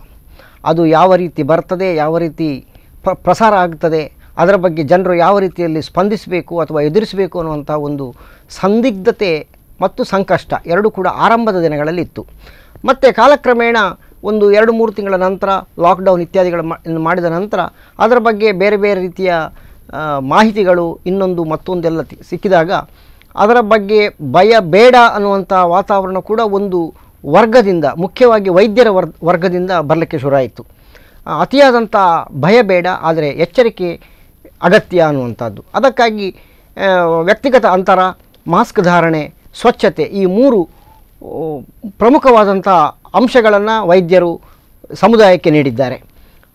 ಈ ಎಲ್ಲ ವಿಚಾರಗಳನ್ನು ಪರಿಣಾಮಕಾರಿಯಾಗಿ ಮತ್ತು ಅತ್ಯಂತ ಸ್ಪಷ್ಟವಾಗಿ ಸಮುದಾಯಕ್ಕೆ, ಸಮಾಜಕ್ಕೆ ತಿಳಿಸುವಂತಹ ಜವಾಬ್ದಾರಿ ಮಾಧ್ಯಮಗಳದ್ದು. ಈ ಲಾಕ್ಡೌನ್ ಸಂದರ್ಭದಲ್ಲಿ ಎಲ್ಲ ಪತ್ರಕರ್ತರು ಕೂಡ ಹೆಚ್ಚಿನವರು ಮುಖ್ಯವಾಗಿ ಮುದ್ರಣ ಮಾಧ್ಯಮದವರು. ನಾವೀಗ ಮಾಧ್ಯಮವನ್ನು ಎಲೆಕ್ಟ್ರಾನಿಕ್ ಮಾಧ್ಯಮ ಮತ್ತು ಮುದ್ರಣ ಮಾಧ್ಯಮ ಮತ್ತು ಅಂತರ್ಜಾಲ ಮಾಧ್ಯಮ ಈ ಮೂರು ರೀತಿಯಲ್ಲಿ ವರ್ಗ ವರ್ಗೀಕರಿಸಿದಾಗ ಪ್ರಾಯ ಮುದ್ ಮುದ್ರಣ ಮಾಧ್ಯಮದವರಿಗೆ ಸ್ವಲ್ಪ ರಿಲೀಫ್ ಸಿಕ್ಕಿರಬಹುದು ಅಂತ ಅನಿಸ್ತದೆ. ಯಾಕಂತೇಳಿದರೆ ಕೆಲವರು ವರ್ಕ್ ಫ್ರಮ್ ಹೋಮ್ ಮನೆಯಿಂದಲೇ ಕೆಲಸ ಮಾಡುವಂಥ ಅವಕಾಶ ಮುದ್ರಣ ಮಾಧ್ಯಮದವರಿಗೆ ಸಿಕ್ಕಿದೆ. ಆದರೆ ಎಲೆಕ್ಟ್ರಾನಿಕ್ ಮಾಧ್ಯಮದವರಿಗೆ ಹಾಗಲ್ಲ. ಅವರಿಗೆ ಪ್ರತ್ಯಕ್ಷ ವರದಿ ಕೊಡಬೇಕಾಗ್ತದೆ. ಅವರು ಆ ನಿರ್ದಿಷ್ಟವಾದಂಥ ಸ್ಥಳಕ್ಕೆ ತೆರಳಲೇಬೇಕಾದಂಥ ಅನಿವಾರ್ಯತೆ ಮತ್ತು ಅಗತ್ಯ ಕೂಡ ಇರ್ತದೆ. ಹಾಗಾಗಿ ಅದು ಅತ್ಯಂತ ರಿಸ್ಕ್. ಮಾಧ್ಯಮದವರಲ್ಲಿ ಯಾವ ಈ ಟಿ ವಿ ಮಾಧ್ಯಮದವರಿಗೆ ಅವರು ರೋಗಿಗಳಿಗೆ ಅತ್ಯಂತ ನಿಕಟವಾಗಿ ಅವರ ಮುಖಾಮುಖಿ ಮಾತನಾಡುವಂಥ ಸಂದರ್ಭದಲ್ಲಿ ಕೂಡ ಅವರು ಅತ್ಯಂತ ಕಷ್ಟಕರವಾದಂಥ ಪರಿಸ್ಥಿತಿಯನ್ನು ಅವರು ಎದುರಿಸಿದ್ದಾರೆ. ಮಾಡಲೇಬೇಕು. ಮಾಡಲೇಬೇಕಾದಂಥ ಒಂದು ಅನಿವಾರ್ಯತೆ ಅವರಿಗೆ ಬಂದಿತ್ತು. ಹಾಗಾಗಿ ಅವರು ತಮ್ಮ ಜೀವವನ್ನು ಲೆಕ್ಕಿಸದೆ ಈ ಕಾರ್ಯದಲ್ಲಿ ಅವರು ನಿಜವಾದಂತ ಅರ್ಥದಲ್ಲಿ ವಾರಿಯರ್ಸ್. ಈಗ ಪ್ರಥಮವಾಗಿ ಅದೇ ಪರಿಣಾಮವಾಗಿ ಇವತ್ತು ಸುಮಾರು ಜನ ಮಾಧ್ಯಮದವರಿಗೆ ಹೌದು, ಪಾಸಿಟಿವ್ ಹೌದು. ಹಾಗಾಗಿ ಅದರಲ್ಲಿ ಎಲ್ಲ ವಾರಿಯರ್ಸ್ಗಿಂತ ಈಗ ವೈದ್ಯರಿರಬಹುದು ಆಶಾ ಕಾರ್ಯಕರ್ತರಿರಬಹುದು ಅಥವಾ ಮಾಧ್ಯಮದವರು ಪೊಲೀಸರು ಇತ್ಯಾದಿಗಳಲ್ಲಿ ಅತ್ಯಂತ ಸಫರ್ ಆದವರು ಎಲ್ಲ ರೀತಿಯಲ್ಲಿ ಕೂಡ ಬಹುಶಃ ಮಾಧ್ಯಮದವರು ಅಂತ ನಾನು ಖಂಡಿತವಾಗಿ ಹೇಳ್ತೇನೆ ಯಾಕಂತ ಹೇಳಿದರೆ ಈ ಲಾಕ್ಡೌನ್ ಆರಂಭವಾದ ನಂತರ ಎಷ್ಟೋ ಪತ್ರಿಕೆಗಳು ಎಷ್ಟೋ ಮಾಧ್ಯಮಗಳು ಮುಚ್ಚುವಂಥ ಪರಿಸ್ಥಿತಿ ಬಂದಿದೆ. ತುಂಬಾ ಕಷ್ಟ ಆಗಿದೆ. ತುಂಬ ಕಷ್ಟ ಆಗಿದೆ. ಮಾಧ್ಯಮ ಕೊರೋನಾದಿಂದ ಅತ್ಯಂತ ಎಲ್ಲ ಕ್ಷೇತ್ರಗಳಲ್ಲಿ ಹೊಡೆತ ತಿಂದರೂ ಕೂಡ ಮಾಧ್ಯಮದಲ್ಲಿ ಅತ್ಯಂತ ಇನ್ನು ಮೇಲೆ ಏಳಲಾರದಂಥ ಪರಿಸ್ಥಿತಿ ಬಂದಿದೆಯೋ ಎನ್ನುವಂಥ ಭಾಸವಾಗುವ ರೀತಿಯಲ್ಲಿ ಇವತ್ತು ಮಾಧ್ಯಮ ಇದು ನಾನು ಅತ್ಯಂತ ವಿಷಾದದಲ್ಲಿ ಹೇಳ್ತಾ ಇದ್ದೇನೆ. ಯಾಕಂತ ಹೇಳಿದರೆ ಎಷ್ಟೋ ಹಿರಿಯ ಪತ್ರಕರ್ತರನ್ನು ಅನುಭವಿ ಪತ್ರಕರ್ತರನ್ನು ಕೈ ಬಿಡತಕ್ಕಂಥ ಸಂದರ್ಭ ಇವತ್ತಿನ ಈ ಕೊರೋನಾ ನಮಗೆ ತಂದೊಡ್ಡಿದೆ. ನಾಳೆ ಆ ಅನುಭವ ಪತ್ರಕರ್ತರು ಅನುಭವದಲ್ಲಿದ್ದರೂ ಕೂಡ ಯಾವ ಪತ್ರಿಕೆ ಅವರನ್ನು ತೆಗೆದುಕೊಳ್ಳುತ್ತದೆ? ಅವರಿಗಿನ್ನು ಉದ್ಯೋಗಾವಕಾಶ ಏನು? ಅವರ ಮುಂದಿನ ಜೀವನ ಏನು? ಭವಿಷ್ಯ ಏನು? ಅವರ ಮಕ್ಕಳ ಅವರ ಅವರನ್ನು ಅವಲಂಬಿಸಿರುವಂಥವರ ಗತಿ ಏನು ಅನ್ನುವಂಥದ್ದು ಒಂದು ಕಗ್ಗತ್ತಲಲ್ಲಿ ಇಡೀ ಪತ್ರಕರ್ತರನ್ನು ಮಾಧ್ಯಮದವರನ್ನು ಹಾಕಿದೆ. ಎಷ್ಟೋ ಚಾನೆಲ್ಗಳು ಬಂದಾಗಿದೆ. ಮುಂಬೈಯಂಥ ನ ಮಹಾನಗರಗಳಲ್ಲಿ ಮುದ್ರಣ ಕೂಡ ನಿಂತು ಹೋಗಿದೆ.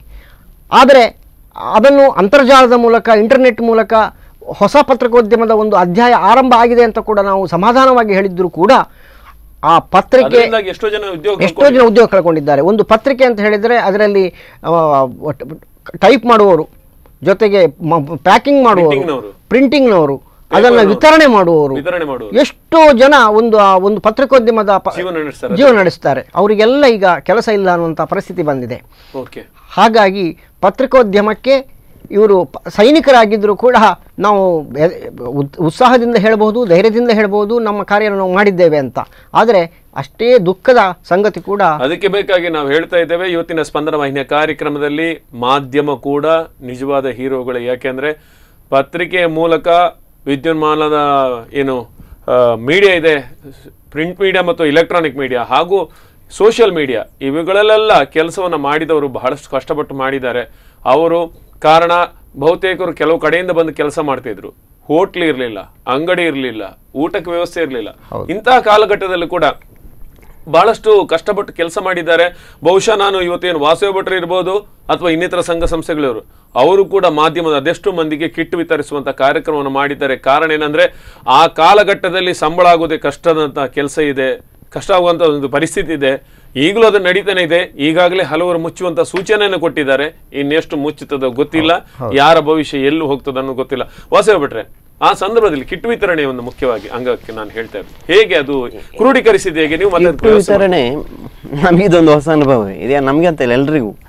ನೆರೆ ಮತ್ತು ಪ್ರವಾಹದ ಸಂದರ್ಭದಲ್ಲಿ ಅಂತ ಒಂದು ಅನುಭವ ನಮಗೆ ಆಗಿದ್ದರೂ ಕೂಡ ಇದೊಂದು ಒಂದು ನಮಗೆ ಬಹಳ ಏಕಾಏಕಿ ಬಂದಂಥ ಪರಿಸ್ಥಿತಿಯಾಗಿ ಹೋಯಿತು. ಯಾಕಂದರೆ ಊಟ ಹಾಕೋದು ಮಠ ಮಂದಿರಗಳಿಗೆ ನಿರ್ಬಂಧ ಬಂದಾಗ ಅಥವಾ ದೇವಸ್ಥಾನಗಳಲ್ಲಿ ನಮ್ಮಲ್ಲಿ ಉಡುಪಿಯಲ್ಲಿ ತೆಗೆದುಕೊಂಡ್ರೆ ಸಾವಿರಾರು ಜನ ಕರಾವಳಿ ಜಿಲ್ಲೆಯ ದೇವಸ್ಥಾನಗಳಲ್ಲಿ ಸಾವಿರಾರು ಜನ ಊಟ ಮಾಡುವಂಥ ಪರಿಸ್ಥಿತಿ ಏನು ಇಲ್ದಿದ್ರು ಆ ಮಠಕ್ಕೆ ಹೋಗಿ ಊಟ ಮಾಡುವಲ್ಲ ಮೊದಲು ಹಾಗೆ ಗಂಜಿ ಕೇಂದ್ರಗಳು ಅಂತ ನಾವು ಸ್ಥಾಪನೆ ಮಾಡ್ತಿದ್ದು ಅದೇ ಕಾರಣ ಈಗ ಜನ ಸೇರುವುದೇ ನಿರ್ಬಂಧ ಅಂತ ಆದಾಗ ನಮ್ಮ ಎಲ್ಲ ದೇವಸ್ಥಾನಗಳಲ್ಲಿ ಕರಾವಳಿಯಲ್ಲಿ ಏನು ಇಲ್ದಿದ್ರು ಮಧ್ಯಾಹ್ನದ ಹೊತ್ತಿಗೆ ಊಟಕ್ಕೆ ಅಂತ ತೊಂದರೆ ಬರುದಿಲ್ಲ. ಯಾರಿಗೂ? ಎಲ್ಲಿ ಎಲ್ಲೆಲ್ಲಿ ಹತ್ರ ದೇವಸ್ಥಾನಕ್ಕೆ ಹೋಗ್ಬೋದು ಅಂತ ಹೇಳುವ ಪರಿಸ್ಥಿತಿ ಇದ್ದಾಗ ಕೊರೋನಾ ಅದಕ್ಕೂ ಒಂದು ನಿರ್ಬಂಧವನ್ನು ತಂದು ಹಾಕಿದಾಗ ಇದು ಬಹಳ ದೊಡ್ಡ ಸವಾಲಿನ ಕೆಲಸ ಆಗಿ ಹೋಯಿತು. ಇಂಥ ಸಂದರ್ಭದಲ್ಲಿ ಮತ್ತೇನಾಗ್ತದೆ ಅಂತ ಹೇಳಿದ್ರೆ ಯಾರ ಹತ್ರ ಕೇಳೋದು, ಹೇಗೆ ಕೊಡಬೇಕು, ಫಲಾನುಭವಿಗಳನ್ನು ಗುರುತಿಸುವುದು ಹೇಗೆ, ಅವನು ನಿಜವಾಗಿಯೂ ಯೋಗ್ಯನೋ, ಅವನಿಗೆ ಸಲ್ಲಬೇಕಾದದ್ದು ಅರ್ಹ ಅಥವಾ ನಿಜವಾಗಿಯೂ ಅರ್ಹನೋ, ಅವನಿಗೆ ಕೊಡಬೇಕಾಗಿದ್ದಂಥದ್ದು ನಿಜವೋ, ಅಥವಾ ಅವನಿಗೆ ಇನ್ಯಾರು ಕೊಟ್ಟಿರಲಿಲ್ವೋ, ಈ ಬೈಫರ್ಕೇಷನ್ ಫಿಲ್ಟ್ರೇಷನ್ ಮಾಡುವಾಗಲೇ ನಾವು ಸ್ವಲ್ಪ ಸೋತದ್ದಿದೆ. ನಾವಂತೆಲ್ಲ ಎಲ್ಲರೂ ಸೋತಿರ್ಬೋದು. ಕೆಲವರಿಗೆ ಹೋದಲ್ಲಿಗೆ ಹೋದ ಘಟನೆಗಳಿದ್ದಾವೆ. ಇವತ್ತು ನೆರೆ ಪ್ರವಾಹದ ಸಂದರ್ಭದಲ್ಲಿ ಹಾಗೆ ಆಗ್ತದೆ. ಎಲ್ಲರ ಮನೆಯಲ್ಲೂ ತಗೊಂಡೋಗಿ ಗಿಟ್ಟ ರಾಶಿ ಹಾಕಿದಂಥ ಪರಿಸ್ಥಿತಿಗಳು ಇರ್ತದೆ. ಮತ್ತು ಸರ್ಕಾರ, ಜಿಲ್ಲಾಡಳಿತ, ತಹಶೀಲ್ದಾರ್ ಮೂಲಕ ಇಲ್ಲಿ ಒಳ್ಳೆ ಕೆಲಸ ಆಯಿತು. ಉಡುಪಿಯಲ್ಲಿ ಬಹಳ ಪರಿಣಾಮಕಾರಿಯಾಗಿ ಅವರದನ್ನು ನಿಯಂತ್ರಣಕ್ಕೆ ತೆಗೆದುಕೊಂಡರು. ಪ್ರತಿ ಏರಿಯಾಕ್ಕೆ ನಾವು ತೆಗೆದುಕೊಂಡು ಹೋಗಬೇಕಾದರೆ ರೆವಿನ್ಯೂ ಇನ್ಸ್ಪೆಕ್ಟರ್ಗಳನ್ನು ಕಳಿಸಿ ಅಲ್ಲಿ ಫಲಾನುಭವಿಗಳ ಪಟ್ಟಿ ಕೊಟ್ಟು ಅವರ ಹತ್ರ ಸಿಗ್ನೇಚರ್ ತಗೊಂಡು ತಲುಪಿಸುವ ಕೆಲಸ ಆದರೂ ಕೂಡ ಕೆಲವು ಕಡೆಗಳಲ್ಲಿ ಅದರ ದುರುಪಯೋಗ ಕೂಡ ಆದ ಮಾಹಿತಿಗಳು ಮತ್ತೆಲ್ಲ ಬಂದಿತ್ತು. ಕೊನೆಗೆ ಏನಾಗ್ತದೆ? ಅಯ್ಯೋ, ಇಂಥ ಸಂದರ್ಭ ನಡೆಯೋದು ಇಂಥದ್ದು ಹಾಗೆ ಕಾಮನ್ ಅಂತ ಹೇಳುವಂಥ ನಿರ್ಧಾರಕ್ಕೆ ಎಲ್ಲರೂ ಬಂದಂಥ ಪರಿಸ್ಥಿತಿ ಇತ್ತು. ಮತ್ತೇನಾಯಿತು?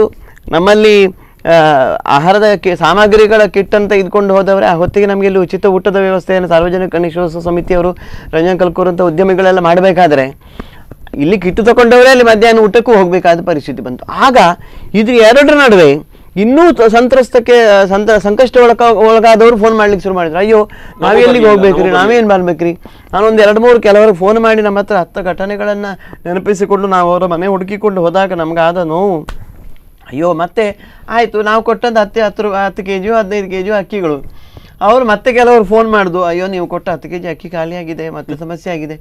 ಈ ಅಂದರೆ ಇಲ್ಲಿ ನಮ್ಮನ್ನು ಫಲಾನುಭವಿಗಳನ್ನು ಇದನ್ನು ಇವರಿಗೆ ಹೇಳಿದರು, ಮಾಧ್ಯಮಗಳು ಅದು ಅವರ, ಅವರವರ ಅನುಭವಕ್ಕೆ ಬರಬೇಕು. ಆಯಿತು, ಅಡುಗೆಯವರು ಸಿಕ್ಕಲಿ ನಾವು, ನಾನೇನು ಯೋಚನೆ ಮಾಡಬಲ್ಲೆ ನನಗೆ ನನ್ನ ದೃಷ್ಟಿಗೆ ನಿಲ್ಕುವಂತ ನಾವು ಅದಕ್ಕೆ ಹೆಚ್ಚು ಸಮೀಪ ಇರುವ ಕಾರಣಕ್ಕೆ ಅಡುಗೆಯವರು ಬಡಿಸುವವರು ಪುರೋಹಿತರು ಕೆಲಸ ಇಲ್ಲದೆ ತತ್ವಾರ ಅನುಭವಿಸುವಂತಹ ಪರಿಸ್ಥಿತಿ ಬಂತು. ಆ ಲಿಂಕ್ನಿಂದ ಒಂದು ಸಮಾರಂಭವನ್ನು ತೆಗೆದುಕೊಳ್ಳಿ. ನೀವು ಪತ್ರಿಕೋದ್ಯಮದಿಂದ ಎಷ್ಟು ಜನ ಒಂದು ಚೈನ್ ಲಿಂಕ್ ರೂಪದಲ್ಲಿ ಬದುಕ್ತಾ ಇದ್ದಾರೆ ಅಂತ ನಾವು ಪಟ್ಟಿ ಮಾಡಬಹುದು. ಅದೇ ರೀತಿಯಲ್ಲಿ ಒಂದು ಸಮಾರಂಭ ಸಾಮಾನ್ಯ ಒಂದು ವಿವಾಹ ಸಮಾರಂಭ ಅಂತ ಇಟ್ಕೊಂಡ್ರು ಕೂಡ ಅದು ಎಷ್ಟು ಜನರಿಗೆ ಬದುಕು ಕೊಡ್ತದೆ ಅಂತ ಬಟ್ಟೆ ಅಂಗಡಿಯವನಿಂದ ಬಂಗಾರದ ಅಂಗಡಿಯವನಿಂದ ಹಿಡಿದು ಅಲ್ಲಿ ಕಲ್ಯಾಣ ಮಂಟಪದ ಕಲ್ಯಾಣ ಮಂಟಪದ ತಟ್ಟೆ ತೊಳೆಯುವವರೆಗೂ. ಅಲ್ಲಿ ಕ್ಲೀನ್ ಮಾಡುವಂಥ ಸಿಬ್ಬಂದಿಯವರೆಗೂ ಬದುಕು ಕೊಡುವಂಥ ಪರಿಸ್ಥಿತಿ ಬಂದಾಗ ಇಡೀ ಒಂದು ಇವತ್ತು ಈ ಮೂರು ನಾಲ್ಕು ತಿಂಗಳೇ ವ್ಯವಸ್ಥೆಯೇ ಅಲ್ಲಿಗೆ ತ- ಅಲ್ಲೋಲ ಕಲ್ಲ ಕಡಿಮೆಲಾದಾಗ ನಾವು ಯಾರನ್ನೋ ತುಂಬ ಕೆಲ ಸರ್ಕಾರಗಳು ಕೂಡ A P L card B P L card ಇದ್ದವರಿಗೆ ಮಾತ್ರ ಉಚಿತ ಪಡಿತರ ಅಂತ ಮಾಡೋದು ಅಥವಾ ಪಡಿತರಗಳನ್ನು ಹೆಚ್ಚುವರಿಯಾಗಿ ಕೊಡುವಂಥ ಕೆಲಸ ಮಾಡಿತು ಆದರೆ ಅದು ಇದ್ದವ್ರು ಏನು ಮಾಡಬೇಕು? ಅದು ಇದ್ದು ತೊಂದರೆಗೊಳಗಾದವ್ರು ಏನು ಮಾಡಬೇಕು? ಇಲ್ಲ ಕೆಲವು ಖಾಸಗಿ ಸಂಘ ಸಂಸ್ಥೆಗಳು ಸಣ್ಣ ಸಣ್ಣ ಗೂಡಂಗಡಿ ವ್ಯಾಪಾರ ಅಥವಾ ಸಣ್ಣ ಸಣ್ಣ ಮಧ್ಯಮ ಮತ್ತು ಕೆಳ ಮಧ್ಯಮ ವ್ಯಾಪಾರಸ್ಥರಲ್ಲಿ ಕೆಲಸ ಮಾಡಿಕೊಂಡಿದ್ದವರು. ಅಯ್ಯೋ, ನಮ್ಗೆ ಯಾರು ಏನು ಕೊಡಲಿಲ್ಲ ರೀ ಅಂತ ಮತ್ತೊಬ್ಬರು ಶುರು ಮಾಡಿದರು. ನಮಗೆ ದಿನ ರಾತ್ರಿ ಆಗುವಾಗ, ಅಯ್ಯೋ ಮಾರ್ಯಾರೆ ನೀವು ಅವ್ರಿಗೆ ಕೊಟ್ರಿ, ನಮಗಿಲ್ವಾ? ಇಂಥ ಫೋನ್ಗಳಿಗೆ ಉತ್ತರ ಕೊಡೋದೇ ಸವಾಲಾಗಿ ಹೋಯಿತು. ಕೊನೆಗೆ ಮಠ ಮಾಧ್ಯಮಗಳು ನಮಗಷ್ಟು ನಾವು ಅವರು ಕೊಟ್ಟದ್ದನ್ನೇ ನಾವೇ ನಮ್ಮ ಸ್ವಂತದಿಂದ ಹಾಕಿದ್ದಲ್ಲ. ಇದನ್ನು ನಾನು ಹೇಳಲೇಬೇಕು. ಅಲ್ಲಲ್ಲಿ ಯಾರ್ಯಾರು ದಾನಿಗಳು ಅಂತ ಕೊಟ್ಟವರಿದ್ರು ಮಠಗಳು ನಮಗೊಂದು ಜವಾಬ್ದಾರಿ ಕೊಟ್ಟರು, ಅಲ್ಲಿ ನಾವು ಅದನ್ನು ಫಲಾನುಭವಿಗಳಿಗೆ ತಲುಪಿಸುವ ಕೆಲಸ ಮಾಡಿ, ಒಂದು ಕೊಂಡಿಯಾಗಿ ಕೆಲಸ ಮಾಡಿತ್ತು ಅಷ್ಟೇ ಆಯಿತು ಆನಂತರ ಮಠಗಳು, ಎಲ್ಲ ಮಠಗಳು ಕೊಟ್ಟಾಯಿತು. ಇನ್ನು ಮತ್ತೊಂದಷ್ಟು ಬೇಡಿಕೆಗಳು ಶುರುವಾಯಿತು. ಮತ್ತೊಂದಷ್ಟು ರಾಜಕೀಯ ಪಕ್ಷಗಳು ಬೇಡಿಕೆ ಶುರುವಾಯಿತು. ನೀವು ಆ ಪಕ್ಷದವರಿಗೆ ಇಷ್ಟು ಮಾಡಿ ಕೊಟ್ರಂತೆ, ಕಿಟ್ಟು, ನಮ್ಮ ಪಕ್ಷದವರಿಗೆ ಕೊಡಿ ಅಂತ. ಅದು ತಪ್ಪು ಅಲ್ಲ. ಯಾಕೆಂದರೆ ರಾಜಕೀಯ ಪಕ್ಷಗಳು ಸರ್ಕಾರ ಇರಬೇಕಾದ್ರೆ ಮಠಮಾನ್ಯರು ದೇವಸ್ಥಾನಗಳೆಲ್ಲ ಪ್ರಯೋಜನ ಪಡ್ಕೊಂಡಿರ್ತಾರೆ. ಅವ್ರು ಕೇಳಿದವರಿಗೆ ಕೊಡಬೇಕಾ. ಅಲ್ಲಿ ಕೊಟ್ಟಾಯಿತು. ಅದು ಯಾರಿಗೂ ಹೋಗ್ತದೆ. ಇದನ್ನು ನಮಗೂ ಆತಂಕ ಶುರುವಾಯಿತು ಇದು ಹೋಗುವವರಿಗೆ ಹೋಗ್ತಾ ಇದೆಯಾ? ಆಯಿತು ವಲಸೆ ಕಾರ್ಮಿಕರಿಗೆ ಊಟದ ವ್ಯವಸ್ಥೆ ಅಂತ ಆಯಿತು. ವಲಸೆ ಕಾರ್ಮಿಕರಿಗೆ ಕಿಟ್ಟು ಹೋದಲ್ಲಿಯೇ ಮತ್ತೆ ಪುನಃ ಊಟ ಆಯಿತು. ಆಮೇಲೆ ಪೆರಂಪಳ್ಳಿಯ ನನ್ನ ನನ್ನ- ಪ್ರದೇಶದಲ್ಲಿಯೇ ಪೆರಂಬಳ್ಳಿ ಕರಂಬಳ್ಳಿ ಭಾಗದಲ್ಲಿ ನಾವು ಕಿಟ್ಟು ಕೊಟ್ಟಲ್ಲಿಗೆ ಮರುದಿನ ಅದೇ ಜನ ಮಧ್ಯಾಹ್ನ ಕ್ಯೂ ನಿಲ್ತಾ ಇದ್ರು ಊಟಕ್ಕೆ. ಇದು ತಪ್ಪು ಅಂತಲ್ಲ ಎಲ್ಲ ಕಡೆಯಲ್ಲಿ. ಇದು ಆದದ್ದು ಹೀಗೆ. ಅದು ತಪ್ಪು ಅಂತೂ ಹೇಳ್ತಾ ಇಲ್ಲ. ನಾವು ಇದನ್ನು ವಿತರಿಸಿದವರ ತಪ್ಪ ಯಾರು ಇದರಲ್ಲಿ ತಪ್ಪಿತಸ್ತ್ರ ಅಲ್ಲ. ಎಲ್ಲರೂ ಅವರವರ ಸಾಧ್ಯತೆಯನ್ನು ಖಂಡಿತ ಮಾಡಲೇಬೇಕಾಗಿತ್ತು. ಆದರೆ ಕೆಲವು ಸಲ ನಮ್ಗೆ ಅನಿಸಿದ ಇನ್ನು ಇನ್ನು. ತಲುಪಬೇಕಾದವರಿಗೆ ತಲುಪದೇ ಇದ್ದದಿತ್ತು ಅವರಿಗೆ ತಲುಪಿಸಿ ಅದ್ರಲ್ಲಿ ಬಹುಶಃ ನನಗೆ ಇನ್ನೊಂದು ವಿಚಾರ ತಿಳಿದಿದೆ. ನೀವು ಕಿಟ್ ಕೊಡೋದಕ್ಕೆ ಕೆಲವರು ಅಂದ್ರೆ ಬಂದು ತಗೊಳ್ಳಿಕ್ಕೆ ಸಾಧ್ಯತೆ ಇಲ್ಲದವರ ಮನೆ ಕಿಟ್ ಅನ್ನು ಕೊಟ್ಟಿದ್ರೆ ಅಂದ್ರೆ ವಯಸ್ಸಾಗಿರೋ ಹೌದೌದು. ಅಲ್ಲಿ ನಿಮಗೆ ಇನ್ನೊಂದಷ್ಟು ಮಾಹಿತಿಗಳು ಲಭ್ಯ ಆಯ್ತು ಅಂತ. ಖಂಡಿತ. ಖಂಡಿತ. ಯಾಕಂದ್ರೆ ನನಗೆ ಮಾತ್ರ ಅಲ್ಲ ಇಲ್ಲಿ. ಇಲ್ಲಿ ನನ್ನಾಗಿ ಒಂದು ಅನಿಸಿದ್ದಾರೆ. ನಮಗೆ ಮತ್ತೂ ಗ- ಬಹಳ ಅನಿಸಿದ್ದು ನಾನು ಅದನ್ನು ಮೊನ್ನೆ ನಿಮ್ಗೆ ಪ್ರಾರಂಭದ ಲಾಕ್ಡೌನಲ್ಲಿ ನಾನು ಪತ್ರಕರ್ತರ ನನ್ನ ಮಿತ್ರರ ಹತ್ರ ಹಂಚಿಕೊಂಡಿದ್ದೆ ಈ ವಿಷಯವನ್ನು. ಬಹಳ ಒಂದು ಅನಿಸಿದ್ದು ನನಗೆ ಎಪ್ಪತ್ತು ಈ ಒಂದು ಬಡಗಬೆಟ್ಟು ಅಂತ ಹೇಳೋ ಪ್ರದೇಶದಲ್ಲಿ ತಹಶೀಲ್ದಾರ್ ಕಳಿಸಿದ ಅನುಸಾರ ರೆವೆನ್ಯೂ ಇನ್ಸ್ಪೆಕ್ಟರ್ ನಮ್ಮನ್ನು ಕರ್ಕೊಂಡು ಹೋದರು. ಅಲ್ಲಿ ಒಂದಷ್ಟು ವಲಸೆ ಕಾರ್ಮಿಕರಿಗೆ ಪಟ್ಟಿ ಕೊಡಲಿಕ್ಕೆ ನಾವು ರೆಡಿ ಮಾಡಿಟ್ಟಿದ್ದೆ, ಅವರೆಲ್ಲ ನಿಂತಿದ್ದಾರೆ. ಅದರಲ್ಲಿ ಇಬ್ಬರು ಪುಣ್ಯಾತ್ಮರು, ಅವ್ರಿಗೆ ನಿಜವಾಗಿಯೂ ರಿಯಲ್ ಹೀರೋಸ್ ನನಗೆ ಅನಿಸಿತು ಈ ಶಬ್ದ ಅವರಿಗೆ ಅನಿಸ್ಬೇಕು ಅಂತ. ಆ ಇಬ್ಬರು ವಲಸೆ ಕಾರ್ಮಿಕರು ಹೇಳಿದರು, ನಮ್ಮ ಹೆಸರು ಡಿಲೀಟ್ ಮಾಡಿ ಸರ್ ಅಂತ. ಸರ್, ಯಾಕ್ರಿ? ರೆವೆನ್ಯೂ ಇನ್ಸ್ಪೆಕ್ಟರ್ ಜೋರು ಮಾಡಿ, ಮತ್ತೆ ಯಾಕ್ರಿ? ಮೊನ್ನೆ ಬರುವ ಪಟ್ಟಿಗೆ ಹೆಸರು ಕೊಟ್ರಿ ಅಂತ. ಆ ಪುಣ್ಯಾತ್ಮರು ಏನು ಹೇಳಿದ್ರು ಗೊತ್ತಾ? ಅದು ಏನು ಗೊತ್ತಾ ಸರ್? ನೀವು ಸುರುವಿಗೆ ಈಗ ಲಾಕ್ಡೌನ್ ಅಂತೇಳಿ ಘೋಷಣೆ ಮಾಡಬೇಕಾದ್ರೆ ನಾವು ಹೆದರ್ಕೊಂಡು ಒಂದು ಲೋಟ ಚಹಾ ತೆಗೆದುಕೊಳ್ಳಿಕ್ಕೂ ಪರಿಸ್ಥಿತಿ ಕೆಡ್ತದೆ ಅಂತೇಳಿ ಚಾವುಡಿ ಸಕ್ಕರೆಗಳು ಸಿಕ್ಕದಿಲ್ಲ ಅಂತ ಎಣಿಸಿಕೊಂಡಿದ್ದೆವು. ಆದರೆ ನೀವು ಸರ್ಕಾರ ಬೆಳಿಗ್ಗೆ ಎಂಟು ಗಂಟೆವರೆಗೆ ಅಂಗಡಿ ಓಪನ್ ಮಾಡಲಿಕ್ಕೆ ಅವಕಾಶ ಕೊಟ್ಟಿರೋದ್ರಿಂದ ಎಂಟು ಎಂಟು, ಬೆಳಿಗ್ಗೆ ಎಂಟು ಗಂಟೆವರೆಗೆ ನಾವು ಅಲ್ಲಿಂದ ಎಲ್ಲ ತಗೊಂಡು ಬರ್ತಾ ಇದ್ದೇವೆ ರೀ ಸಾಮಾನೆಲ್ಲ ನೀವು ಬೇರೆ ಯಾರಿಗಾದರೂ ಕೊಡಿ ಅಂತ. ಅದ್ಭುತವಾದಂತ ನನಗೆ ಬಹಳ ನನಗಿದು ನಮ್ಮ ರೋಮಾಂಚನದಂಥ ಸಂದರ್ಭ. ನಮಗೆ ಅಂದರೆ ಇದು ನನಗೆ ಮರೆಯಲಾರದಂತೂ ಘಟನೆ ಆಗಿಬಿಟ್ಟು ಅವರಿಬ್ಬರು ನನಗೆ ಕೊಡಬೇಡ್ರಿ ನಮ್ಗೆ ಸಿಕ್ಕಿದೆ. ಇದು ನಿಜವಾದ ಘಟನೆ ಇದು ವಾಸ್ತವ. ಇದು ನಿಜವಾದ ಮನುಷ್ಯತ್ವ ನಿಜವಾದ ಮನುಷ್ಯತ್ವ ಒಂದಲ್ಲ ಮತ್ತೆ ವಾಸ್ತವ ಇದು ಇದ್ದದಿದೆ ಎಲ್ರಿಗೂ ಬೆಳಿಗ್ಗೆ ಎಂಟು ಗಂಟೆ ಆದರೆ ಒಂದಷ್ಟು ಮಟ್ಟಿಗೆ ಜಿನ ತೆಗಿನ ತೆಗೆಯುವಂಥ ಪರಿಸ್ಥಿತಿ ಇತ್ತು. ಆದರೆ ನಮಗೆ ಸಿಕ್ಕುದಾರೆ ಸಿಕ್ಕಲಿ ಅಂತ ಹೇಳಿ ತಗೊಂಡವರು ಇದ್ದಾರೆ ಬಿಡಿ. ಆದರೆ ಆ ನಡುವೆ ಕೂಡ ನಮಗೆ ಕೊಡಬೇಕಾದ ಇನ್ನು ಮತ್ತೊಬ್ಬರು ಕರಂಬಳ್ಳಿಯಲ್ಲಿ ಒಬ್ಬರು ಮನೆಗೆ ಹೋಗಿತ್ತು. ಅವರಿಗೆ ಆಕ್ಸಿಡೆಂಟ್ ಆಗಿ ಅವ್ರ ಗಂಡನಿಗೆ ಇಡೀ ದೇಹದ ಅಂಗಾಂಗಗಳೆಲ್ಲ ವೈಫಲ್ಯ ಆಗಿತ್ತು ಮಕ್ಕಳೆಲ್ಲ ಪಾಪ. ಯಾರೋ ಎಲ್ಲ ಹೇಳಿದ್ರು ಅಂತೇಳಿ ನಾವು ತೆಗೆದುಕೊಂಡು ಕೊಟ್ಟೆವು. ಆ ಪುಣ್ಯಾತ್ಮ ಹೇಳಿದರು ನಮಗಿಂತ ಕಷ್ಟ ನಮ್ಮ ಹಿಂದಿನ ಮನೆಯವರಿಗಿದ್ದಾರೆ ನೀವು ಅವರಿಗೆ ಕೊಡಿ.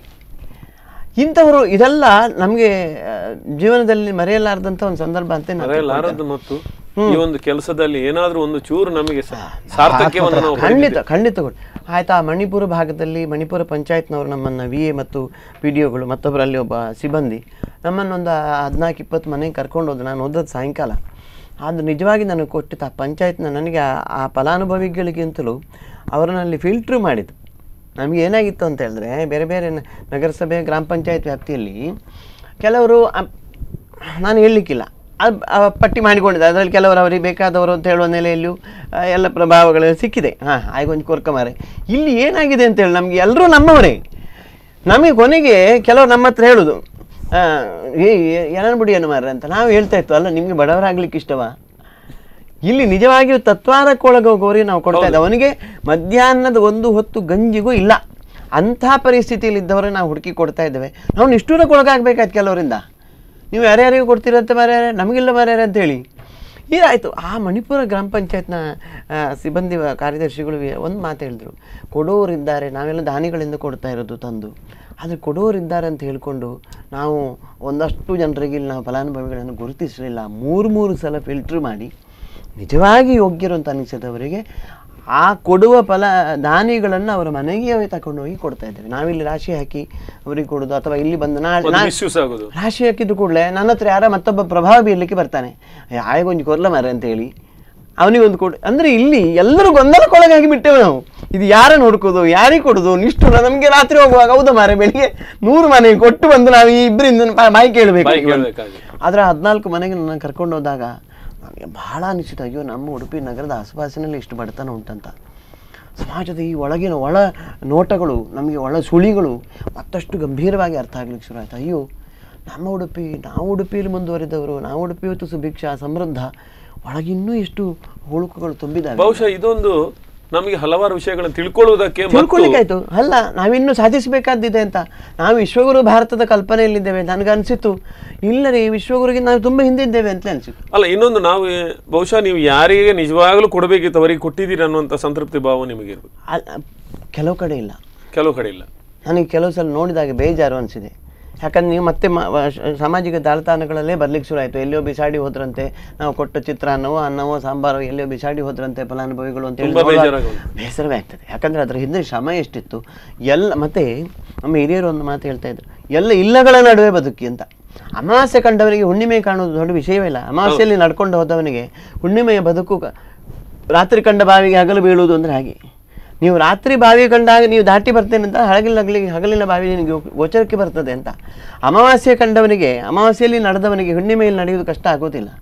ನಮಗೆ ಎಲ್ಲ ಅನಿಸಿತು, ಅಯ್ಯೋ, ಎಷ್ಟೋ ಎಲ್ಲ ಇಲ್ಲಗಳ ನಡುವೆ ಒಂದಷ್ಟು ಉಂಟುಗಳನ್ನು ಸೃಷ್ಟಿ ಮಾಡಿಕೊಂಡು ಯಾರಿಂದೂ ಆಹಾರ ನೋಡಿ ಸಂಪಾದನೆ ಇಲ್ಲ ಉದ್ಯಮಗಳು ನಷ್ಟದಲ್ಲಿದ್ದಾವೆ ಸರ್ಕಾರದ ಕೆಲವು ದಾನಿಗಳು ದಾನ ಕೊಡುವ ಪರಿಸ್ಥಿತಿ ಇಲ್ಲ ಮಠ ಮಂದಿರಗಳು ಕೂಡ ಇವತ್ತು ಲಕ್ಷಾಂತರ ರೂಪಾಯಿ ಖರ್ಚಿದೆ.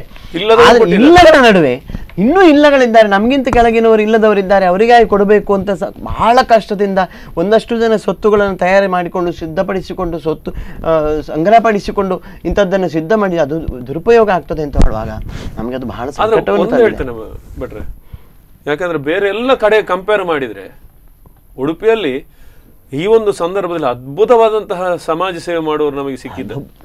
ದೊಡ್ಡ ವರ್ಗ ಸಿಕ್ಕಿದೆ. ಅದನ್ನು ನಾನು ಹೇಳಲಿಕ್ಕೆ ಇಲ್ಲ. ಯಾಕಂದ್ರೆ ಮಾಧ್ಯಮದವರಾಗಿ ಪ್ರತಿಯೊಬ್ಬರು ಗಮನ ಹರಿಸಿದ್ದೇವೆ ನಾವು. ಖಂಡಿತ ಯಾ- ದಿವಸಕ್ಕೆ ಒಂದು ಏಳು ಸಾವಿರ ಊಟ ಕೊಡುದೇನು ತಮಾಷೆ ವಿಷಯ ಅಲ್ಲ. ಅದು ಎಷ್ಟು ದಿನ? ಆದ ಕೂಡಲೇ ಶುರು ಆಗಿದೆ. ಅದು ಒಂದೇ ಎರಡು ದಿನ. ಸಾರ್ವಜನಿಕ ಗಣೇಶೋತ್ಸವ ಸಮಿತಿ ಇರ್ಬೋದು ಅನ್ಸಾರ್ ಇರ್ಬೋದು ವಿಶ್ವ ಶೆಟ್ಟಿ ಇರ್ಬೋದು. ರಂಜನ್ ಕಲ್ಕೂರ್ ಕ್ಯಾಂಟೀನ್ ಎಷ್ಟು ಜನ ಕೊಟ್ರು? ಸಂಘ ಸಂಸ್ಥೆಗಳು ಕೊ- ಗಂಜಿ ಒಡ್ಡಿ ದೇವಸ್ಥಾನಗಳು ಕೆಲವು ದೇವಸ್ಥಾನಗಳು ನಿರ್ಬಂಧ ಇದ್ ಕೊಟ್ಟರು ನೀವು ಸೊತ್ತು ಕೊಟ್ರು. ಅಂಬಲ್ಪಾಡಿ ಅಂತ ದೇವಸ್ಥಾನ ದೇವಸ್ಥಾನದವ್ರು ನಮಗೆ ಮಾಡ್ಲಿಕ್ಕೆ ಅವಕಾಶ ಇಲ್ಲ. ಯಾರಾದರೂ ಮಾಡಿ ಕೊಡ್ತಾರೆ ತೊಡಗಿಸಿಕೊಂಡ್ರು. ಸೊ ಧಾನ್ಯಗಳನ್ನು ಕೊಟ್ಟರು ದವಸ ಇದೆಲ್ಲ ಇದೊಂದು ಅದ್ಭುತವಾದಂತ ಅಲ್ಲ ಅನ್ನಬ್ರಹ್ಮನ ನಾಡಿನಲ್ಲಿ ಇದೊಂದು ನಿಜವಾಗ್ಲೂ. ಇದೊಂದು ವಿಶೇಷ. ನಮಗೆ ಮಠದವರಿಗೆ ಕೂಡ ಅನ್ಸ್ ಅನ್ಸಿರ್ಬೋದು. ಅಯ್ಯೋ ಹೀಗೂ ಆಗ್ತದ ಅಂತ ಹೇಳಿ. ನಾನು ಪ್ರಾರಂಭದಲ್ಲಿ ಶಾಸಕರ ಹತ್ರ ಬೇರೆ ಹೇಳಿದ್ದೆ. ಲಾಕ್ಡೌನ್ ಆಗಿ ಏನೋ ಸಹ ಅದು ನಿಮ್ಮ ಮಾಧ್ಯಮದ ಮುಂದೆ ಹೇಳ್ಬೋದೋ ಬೇಡೋ ಗೊತ್ತಿಲ್ಲ. ಸರ್ ಮಠದ ಮೂಲಕ ನಾವು ಅನ್ನ ಸಾಂಬಾರು ಏನಾದ್ರು ಮಾಡಿಸಿ ಅದನ್ನು ಒಂದು ಕಡೆಯಲ್ಲಿ ಹಂಚು ಅಥವಾ ವಾಹನದಲ್ಲಿ ಹಾಕಿ ಕೊಡುವಂಥ ಕೆಲಸ ಮಾಡೋಣ ಅಂತ. ಆಯ್ತು ಭಾಳ ಸಂತೋಷ ಅಂತೇಳಿ ಮರುದಿನ ಆ, ಇಲ್ಲ ಅದನ್ನು ಸಾರ್ವಜನಿಕ ಗಣೇಶೋತ್ಸವ ಸಮಿತಿ ಒಂದು ತಂಡದ ಮೂಲಕ ಮಾಡೋದು. ಆಯ್ತು ಭಾಳ ಸಂತೋಷ. ಅಂತೂ ಯಾರಿಗೂ ಅನ್ನ ಇಲ್ಲ ಅಂತ ಆಗುವ ಪರಿಸ್ಥಿತಿ ಬರಬಾರ್ದು ಅನ್ನ ಬ್ರಹ್ಮನ ಊರಿನಲ್ಲಿ. ನಾವು ಇವತ್ತು ಮತ್ತೊಂದು ರಿಯಲ್ ಹೀರೋಸ್ ರೈತ. ಈ ದೇಶದ ಅನ್ನ ಭಂಡಾರದಲ್ಲಿ ಇನ್ನೂ ಒಂದಷ್ಟು ದವಸ ಧಾನ್ಯಗಳು ಉಳಿದಿದೆ. ಅದನ್ನು ಬೆಳೆದ ಕಾರಣದಿಂದ ಆಹಾರದ ದುರ್ಭಿಕ್ಷೆ ಬಂದಿದ್ರೆ ಈ ಹಾಹಾಕಾರಗಳು ಮತ್ತೊಂದಷ್ಟು ವಿರೂಪವನ್ನು ಪಡಿತಾ ಇತ್ತು. ವಿರೂಪವನ್ನು ಮತ್ತು ವಿಕಾರವನ್ನು ಸೃಷ್ಟಿಸಿದೆ. ಅಸಾಧ್ಯ. ಅದು ಕೊಡುವ ನೋವು ನೀವು ಯಾವ ಲೆಕ್ಕಕ್ಕೂ ಇರ್ಲಿಕ್ಕಿಲ್ಲ. ಆಗ ಮನುಷ್ಯ ಕೊರೋನಾವನ್ನು ಓಡಿಸುವುದಿಲ್ಲ ಅವನವನ್ನೇ ಓಡಿಸಬೇಕು ಟಿವಿಯನ್ನ ಜನ ಅನೇ ಮಾಡ್ತಿರ್ಲಿಲ್ಲ. ನೀವು ಹಸುವಿನ ಆಹಾಕಾರದಿಂದ ಜನ ರೋಧಿಸುವ ಸಾಯುವಂತ ಸಾಯುವಂಥ ಪರಿಸ್ಥಿತಿಗಳು ಬಂದು ಸಮಾಜದಲ್ಲಿ ಅದು ಬಿತ್ತರ ಆಗ್ತದೆ ಅಂತ ಆದರೆ ಜನ ಟಿವಿಯಿಂದ ದೂರ ಹೋಗ್ತಿದ್ರೆ ಅಂದರೆ ಆ ಪರಿಸ್ಥಿತಿಗೆ ಬರಲಿಲ್ಲ. ರಿಯಲ್ ಹೀರೋಸದಲ್ಲಿ ನಾವು ಅವರನ್ನು ಗುರುತಿಸಬೇಕು. ಅವರಿಂದ ಅವರ ಸಂತತಿ ಸಾವಿರವಾಗಲಿ ಅವರ ಮುಖದಲ್ಲಿ ಸಮೃದ್ಧಿಯ ನಗು- ನಗು ಸದಾ ಇರಲಿ ಅಂತ ನಾವು ಪ್ರಾರ್ಥನೆ ಮಾಡಿಕೊಳ್ಬೇಕು. ಸುದೈವ ವಶಾತ್ ಈ ದೇಶಕ್ಕೆ ಇನ್ನೂ ಕೂಡ ಆಹಾರದ ಖಜಾನೆಯಲ್ಲಿ ಒಂದಷ್ಟು ಇದೆ ಅಂತ ಆದರೆ ಅವರಿಗೆ ನಾವು ಶರಣು ಹೇಳಲೇಬೇಕು. ಅಂದರೆ ಇದು ಆಯಿತು. ಎಲ್ಲ ದೇವಸ್ಥಾನಗಳಿಂದ ಕೊಟ್ಟಾಯಿತು. ಉದ್ಯಮಿಗಳು ಬಂದರು, ಸರ್ಕಾರ ಬಂತು, ಪಡಿತರ ವ್ಯವಸ್ಥೆಗಳು ಬಂತು. ಇನ್ನೂ ಕೂಡ ನಮಗೆ ಒಂದಷ್ಟು ಫೋನ್ಗಳು ಬರಲಿಕ್ಕೆ ಶುರು ಆಯಿತು. ಇಲ್ಲ ರೀ, ನಾವು ಕೊಡಲಿಲ್ಲ, ನಮಗೆ ಕೊಡಲಿಲ್ಲ. ನಾವು ಇವರನ್ನು ಹುಡುಕೋದು ಹೇಗೆ? ನಿಮ್ಗೆ ಅವರು ಕೊಡಲಿ, ಮತ್ತೊಂದು ನಮಗೊಂದು ಅನಿಸಿತು ಮತ್ತೊಂದು ಹೆಂಗಸು ಒಬ್ಬರು ಈ ನಿಟ್ಟೂರು ಹಿಂದಿನ ಭಾಗ ಹಿಂದಿನ ದಿನ ನನಗೆ ಅವರು ಫೋನ್ ಮಾಡಿದರು. ನಮಗೆ ಯಾರೂ ಕೊಟ್ಟಿರಲಿಲ್ಲ ಸರ್ ನಾನು. ನನ್ನ ಮಕ್ಕಳಲ್ಲಿ ಯಾರು ನನಗೆ ಸರಿ ಆದಾಯ ಇದು ಕೊಡುವುದಿಲ್ಲ. ನನಗೆ ಮೂರು ಜನ ಗಂಡು ಮಕ್ಕಳಿದ್ದಾರೆ ನನಗೆ ಯಾರು ಏನು ಕೊಡುವುದಿಲ್ಲ. ನಾನು ತುಂಬ ತೊಂದರೆಯಲ್ಲಿದ್ದೇನೆ. ನಾನು ಸತ್ಯ ಹೇಳೋದು ನನಗೆ ಪಾಪ ಅನಿಸಿದವರು ಎಪ್ಪತ್ತ ಎಪ್ಪತ್ತು ಎಪ್ಪತ್ತೈದು ವರ್ಷ ಇರ್ಬೋದು. ಆಯಿತು ನಾನು ನಾಳೆ ಬರ್ತೇನೆ ಅಂತ ಹೇಳಿದೆ. ಆ ಪುಣ್ಯಾತ್ಮತಿ ನಾನು ಹೋಗೋಕೆ ಸಂಜೆ ಮರುದಿನ ಸಂಜೆ ಆಯಿತು. ಅಂದರೆ ಹಿಂದಿನವರಲ್ಲಿ ಆ ಸತ್ವಭರಿತವಾದ ಜೀವನದ ಸಾತ್ವಿಕತೆ ಅದು ಎಷ್ಟು ರಸಪೂರ್ಣವಾಗಿರ್ತದೆ ಅಂತ ಅಂದರೆ ಅದಕ್ಕೆ ಶಬ್ದಗಳಿಲ್ಲ. ಅವರು ಹೇಳಿದ್ರು ಇಲ್ಲ ನೀವು ಇದನ್ನು ಹೋಗಿ ನನಗೆ ಬೆಳಿಗ್ಗೆ ಒಬ್ಬರು ತಂದು ಕೊಟ್ರು ಅಂತ. ಅದ್ಭುತವಾಗಿ. ಬೇರೆಯವರಾದ್ರೆ ಬಂದದ್ದು ಬರ್ಲಿ ಅಂತ ಒಳಗೆ ಇಟ್ಕೊಳ್ತೇವೆ. ಅಂದರೆ ನನಗೆ ಅದೆಲ್ಲ ಶಬ್ದಗಳನ್ನು ನಾನು ಇಲ್ಲ ನಾನು ಇಲ್ಲ, ನೀವು ಇಟ್ಕೊಳ್ಳಿ, ತೊಂದರೆ ಇಲ್ಲ. ಲಾಕ್ಡೌನ್ ಎಷ್ಟು ದಿನ ಇರ್ತದೆ ಅಂತ ಗೊತ್ತಿಲ್ಲ. ಮುಂದೆ ಇದನ್ನು ಎಕ್ಸ್ಟೆನ್ಷನ್ ಆಗ್ತದೇನೋ. ಅವರಿಗೆ ಪ್ರಪಂಚದ ಅನುಭವ ಇಲ್ಲ. ಎಲ್ಲಿ ಹೋದರೆ ಏನು ಸಿಗ್ತದೆ ಅಂತ ಗೊತ್ತಿಲ್ಲ. ಏನು, ಎಲ್ಲಿಗೆ ಹೋಗದಿದ್ರೆ ಏನು ಸಿಕ್ಕೋದಿಲ್ಲ ಅನ್ನೋದು ಗೊತ್ತಿಲ್ಲ. ಯಾವ ಅನುಭವ ಇಲ್ಲ. ಆಚೆ ಈಚೆ ಮನೆಯವರು ಹೇಳೋದು, ಮನೆಯಲ್ಲಿ ಟಿ ವಿ ಇಲ್ಲ, ಮತ್ತೊಂದಿಲ್ಲ ಏನಿಲ್ಲ. ಎಲ್ಲ ಇಲ್ಲಗಳ ನಡುವೆ ಅವರು ಬದುಕ್ತಾ ಇದ್ದಾರೆ. ಆದರೆ ಮತ್ತೊಂದಷ್ಟು ಇಲ್ಲಗಳು ಬಂದು ಬಿತ್ತು. ನಾನು ಆಗ ಅವರಿಗೆ ಸಮಾಧಾನ ಮಾಡ್ಲಿಕ್ಕೆ ಮಾಡಿದೆ. ಇದನ್ನ ಇಟ್ಕೊಳ್ಳಿ ಇನ್ನೊಂದಷ್ಟು. ಆದ್ರೆ ಅದರಲ್ಲೂ ಅವರಿಗೆ ಒಂದು ಇಂತಹ ಒಂದು ಅದ್ಭುತ ಒಂದು ಮಾನವೀಯತೆ ಅಂದ್ರೆ ಇನ್ನೊಬ್ಬರಿಗೆ ಕೊಟ್ಟುಬಿಡಿ ನನಗೆ ಕೊಟ್ಟಿದ್ದೆ ನನಗೆ ಕೊಟ್ಟಿಲ್ಲ ಅಂತ ನನಗೆ ಬೆಳಿಗ್ಗೆ ಕೊಟ್ಟರು ಅಂತ. ನೀವು ಇನ್ನೊಬ್ಬರಿಗೆ ಕೊಡು ಅನ್ನೋದು ಮತ್ತೊಂದು ಅದೊಂದು ಅವಧಾರ ಇದೆ ಇನ್ನೊಂದು ಮುಖ. ನನಗೆ ಬೆಳಿಗ್ಗೆ ಒಬ್ರು ಕೊಟ್ಟು ಹೋದ್ರು. ನೀವು ನಿನ್ನೆ ಫೋನ್ ಮಾಡಿದ್ರೆ ನಾನು ಅದಕ್ಕೆ ತಂದೆ ಅಂತ ಹೇಳಿದ್ರೆ ಇಲ್ಲ ನನಗೆ ಬೆಳಿಗ್ಗೆ ಒಬ್ರು ಕೊಟ್ಟು ಹೋಗಿದ್ದಾರೆ ಅಂತ. ಈ ಈ ಸತ್ಯದೊಂದಿಗೆ ಬದುಕುವ ಇಂಥವರಿಂದ ಕಾಲ ಕಾಲಕ್ಕೆ ಜೀವನವನ್ನು ಪ್ರೀತಿಸುವ. ಅದು ಆ- ಆ- ಅದಕ್ಕೆ ನಾನು ಶಬ್ದಗಳಿಲ್ಲ ರೀ ನಾನಿವತ್ತು ನಾನೊಂದು ರೀತಿಯಲ್ಲಿ ಶಬ್ದಗಳನ್ನು ಇಟ್ಕೊಂಡು ಆಟ ಆಡೋ ಆದರೆ ನನಗೆ ಅಂಥದ್ದನ್ನು ನೋಡುವಾಗ ಶಬ್ದಗಳೇ ಖಾಲಿಯಾಗಿ ಆಗಿಬಿಟ್ಟವು ಕಂಡು ನಾನು ಒಬ್ಬರನ್ನ ಕರ್ಕೊಂಡು ಹೋಗಿದ್ದೆ ಅವ್ರು ಹೇಳ್ತಾರೆ ಹೌದಾ? ನಿನ್ನೆ ಅವ್ರು ಬೇಡ. ನಾನು ಅವ್ರ ಕತೆ ಹೇಳಿದ್ರು ಅವ್ರು ನಂಬಲಿಲ್ಲ. ನಾನು ಒಟ್ಟಿಗೆ ಯಾರನ್ನು ಕರ್ಕೊಂಡು ಹೋಗಿದ್ದೆ. ಅವರೇ ನಿನ್ನೆ ಫೋನ್ ಮಾಡಿದ್ದು ಮಾರರೆ ಅವರು ನಾನು ಅದಕ್ಕೆ ಈಗ ತಗೊಂಡು ಹೋದದ್ದು ಈಗ ಬೇಡ ಹೇಳ್ತಾರೆ. ಹೌದಾ? ಅವರು ನಂಬಲೇ ಇಲ್ಲ ನನ್ನ. ಇವತ್ತಿನ ಕಾಲಘಟ್ಟಕ್ಕೆ ಅಂತ ಸತ್ಯಗಳೆಲ್ಲ ನಾವು ನಂಬಲಿಕ್ಕೆ ಸಾಧ್ಯ ಕಥೆಯಲ್ಲಿ ಮಾತ್ರ ಓದ್ಬೋದು. ಹಾ. ಖಂಡಿತ. ಪಾಪ ಮತ್ತೊಂದು ಹೆಂಗ್ಸು, ಅವರು ಇಂಜಿನಿಯರ್ ಮೂರು ಜನ ಮಕ್ಕಳು ಕಲಿತಾ ಇದ್ದಾರೆ, ಮಕ್ಕಳು ಸಂಪಾದನೆ ಅವರಿಲ್ಲ ಅವ್ರ ಗಂಡ ತೀರ್ಕೊಂಡಿದ್ದಾರೆ, ಬಡಿಸ್ಲಿಕ್ಕೆ ಹೋಗಿ ಏನೋ ಬದುಕ್ತಾ ಇದ್ದಾರೆ, ಬಡ, ಬಡಿಸ್ಲಿಕ್ಕೆ ಹೋಗ್ತಾ ಇದ್ದೆ ಆದ್ರೆ ಅಲ್ಲಿ ಹೋದರೆ ಅವ್ರು ಇನ್ನೊಂದು ಕತೆ ಇಟ್ಟರು ಆಯ್ತು ಈ ಮಕ್ಕಳ ಮುಂದಿನ ಸ್ಥಿತಿ ಏನೋ ನಂಗೆ ಗೊತ್ತಿಲ್ಲ. ಇಡೀ ಸೀಸನ್ ನನಗೆ ಇವತ್ತು ಬಡಿಸ್ಲಿಕ್ಕೆ ದುಡ್ಡಿಲ್ಲ ಇದು ಮಕ್ಕಳಿಗೆ ಫೀಸ್ ಏನು ಮಾಡೋದು ಗೊತ್ತಿಲ್ಲ. ಎಲ್ಲ ಮತ್ತೊಂದಷ್ಟು ಇಲ್ಲಗಳ ಪಟ್ಟಿ ಕೊಟ್ಟರು ನೋಡುವ ಏನು ನಾನು ನಂಬರ್ ಎಲ್ಲ ಬರ್ಕೊಂಡು ಬಂದರೆ. ಇಲ್ಲಗಳ ಜೊತೆ ಬದುಕುವರು ಬಹಳಷ್ಟು ಜನ ಇದ್ದಾರೆ. ಅಲ್ಲ ಇದು ಮತ್ತೊಂದಷ್ಟು ಕಲಿಸಿತಿದು ಇಲ್ಲಗಳ ಜೊತೆ ಬದುಕಲಿಕ್ಕೆ ಬಹಳ ದೊಡ್ಡ ಒಂದು ಅವಕಾಶವನ್ನ ಕೊರೋನಾ ಕೊಟ್ಟಿದೆ. ಇರುವುದರಲ್ಲಿ ಬದುಕುವುದಕ್ಕೂ ಒಂದು ಕಲಿಸಿತು. ಇರುವುದರಲ್ಲಿ ತೃಪ್ತಿಯೇ ಬದುಕು ಅಂತ ನಾನು ಹೇಳಿಲ್ವಾ? ನಾವು ತೃಪ್ತಿ ಮೀರಿ ಹೋದವಲ್ಲ? ಹೌದು. ನೀವು ಇದೇ ತೃಪ್ತಿ ಮೀರಿದ ಯಾವಾಗ? ನಮಗೆ ಇನ್ನು ಇನ್ನೊಂದು ನಾವು ಗಮನಿಸಿದ್ದೇವೆ ವಾಸವ ಬಿಟ್ರೆ ಆ, ಇಷ್ಟು ವರ್ಷಗಳ ನನ್ನ ನನ್ನದ ನನ್ನ ಇಷ್ಟು ದಿನಗಳಲ್ಲಿ ಇರ್ಬೋದು. ಹಪ್ಪಳ ಸೆಂಡಿಗೆ ಮಾಡದ ಮನೆ ಇಲ್ಲ ಅಲ್ಲ ಅದೇ ಹೇಳ್ತಲ್ಲ ಮತ್ತೊಂದು ಇದರಲ್ಲಿ ಗಮನಿಸಿದ್ದು ಕಿರಣ್ ಮಂಜನ ಬೈಲು ನಡುವಲ್ಲಿ ಸೇರಿಕೊಳ್ಳಿ ನೀವು ನಾವು ಒಬ್ಬರೇ ಮಾತಾಡೋದು ಬೇಡ. ಆ, ಏನಾಗಿ ಇದು ಎಷ್ಟೋ ಜನರಿಗೆ ವ್ಯಷ್ಟಿಗತವಾದಂಥ ಅನೇಕ ವಿದ್ಯೆಗಳನ್ನು ಕಲಿಸಿತು. ಹೌದು. ಅನೇಕರು ಹೊಸ ಹೊಸ ವಿದ್ಯೆಗಳನ್ನು ಕಲಿತರು. ಕಲಿಯದನ್ನು ಕಲಿಸಲಿಕ್ಕೆ ಅವನಿಗೆ ಅವಕಾಶ ಆಯಿತು. ಇನ್ನು ಕೆಲವರು ಕಲಿತದ್ದನ್ನು ಸ್ಮರಿಸಿಕೊಳ್ಳಿಕ್ಕೆ ಅವಕಾಶ ಆಯಿತು. ಮೊನ್ನೆ ನಮ್ಮ ಕನ್ನಡ ಸಾಹಿತ್ಯ ಪರಿಷತ್ತಿನ ಅಧ್ಯಕ್ಷರು ಜಿಲ್ಲೆ ಸುರೇಂದ್ರ ಅಡಿಗರು ಒಂದು ಫೋಟೋ ಕಳಿಸಿದ್ರು. ನನಗೆ ಕೊರೋನಾದಿಂದಾಗಿ ನನ್ನ ಅಜ್ಜಿ ಹೇಳಿಕೊಟ್ಟಂತ ಮಡಲು ನೆನೆಯುವುದನ್ನು ನಾನು ಮತ್ತೆ. ಸ್ಮರಿಸಿಕೊಂಡೆ. ಕಲೀಲಿಕ್ಕಾಯಿತು. ಇನ್ನೊಂದಷ್ಟು ಜನ ಆ, ಸ್ವಂತದ ಅನುಷ್ಠಾನಗಳ ಮೂಲಕ ಜಪತ ವಿಶೇಷವಾಗಿ ಸ್ವಾಮಿಗಳೆಲ್ಲ ಒಂದು ಕಡೆಯಲ್ಲಿ ಕೂತ್ಕೊಳ್ಬೇಕಾದ ಪರಿಸ್ಥಿತಿ ಬಂತು. ಸಂಚಾರ ಮಾಡ್ತಾ ಇದ್ದವರೆಲ್ಲ ಒಂದೇ ಕಡೆಯಲ್ಲಿ ಕೂತು ಜಗದ ಒಳಿತಿಗಾಗಿ ಚಾತುರ್ಮಾಸ್ಯ ಜಪ ತಪ ಅನುಷ್ಠಾನಗಳನ್ನು ಮಾಡಲಿಕ್ಕೆ ಅವಕಾಶ ಆಯಿತು. ಸಾಧನಗಳು ಎಷ್ಟೋ ಜನ ವೈದಿಕರು ವಿದ್ವಾಂಸರಿಗೆಲ್ಲ ಇವತ್ತು ಪುರುಸೋತ್ತೇ ಇಲ್ಲದ ಪರಿಸ್ಥಿತಿ ಇತ್ತು.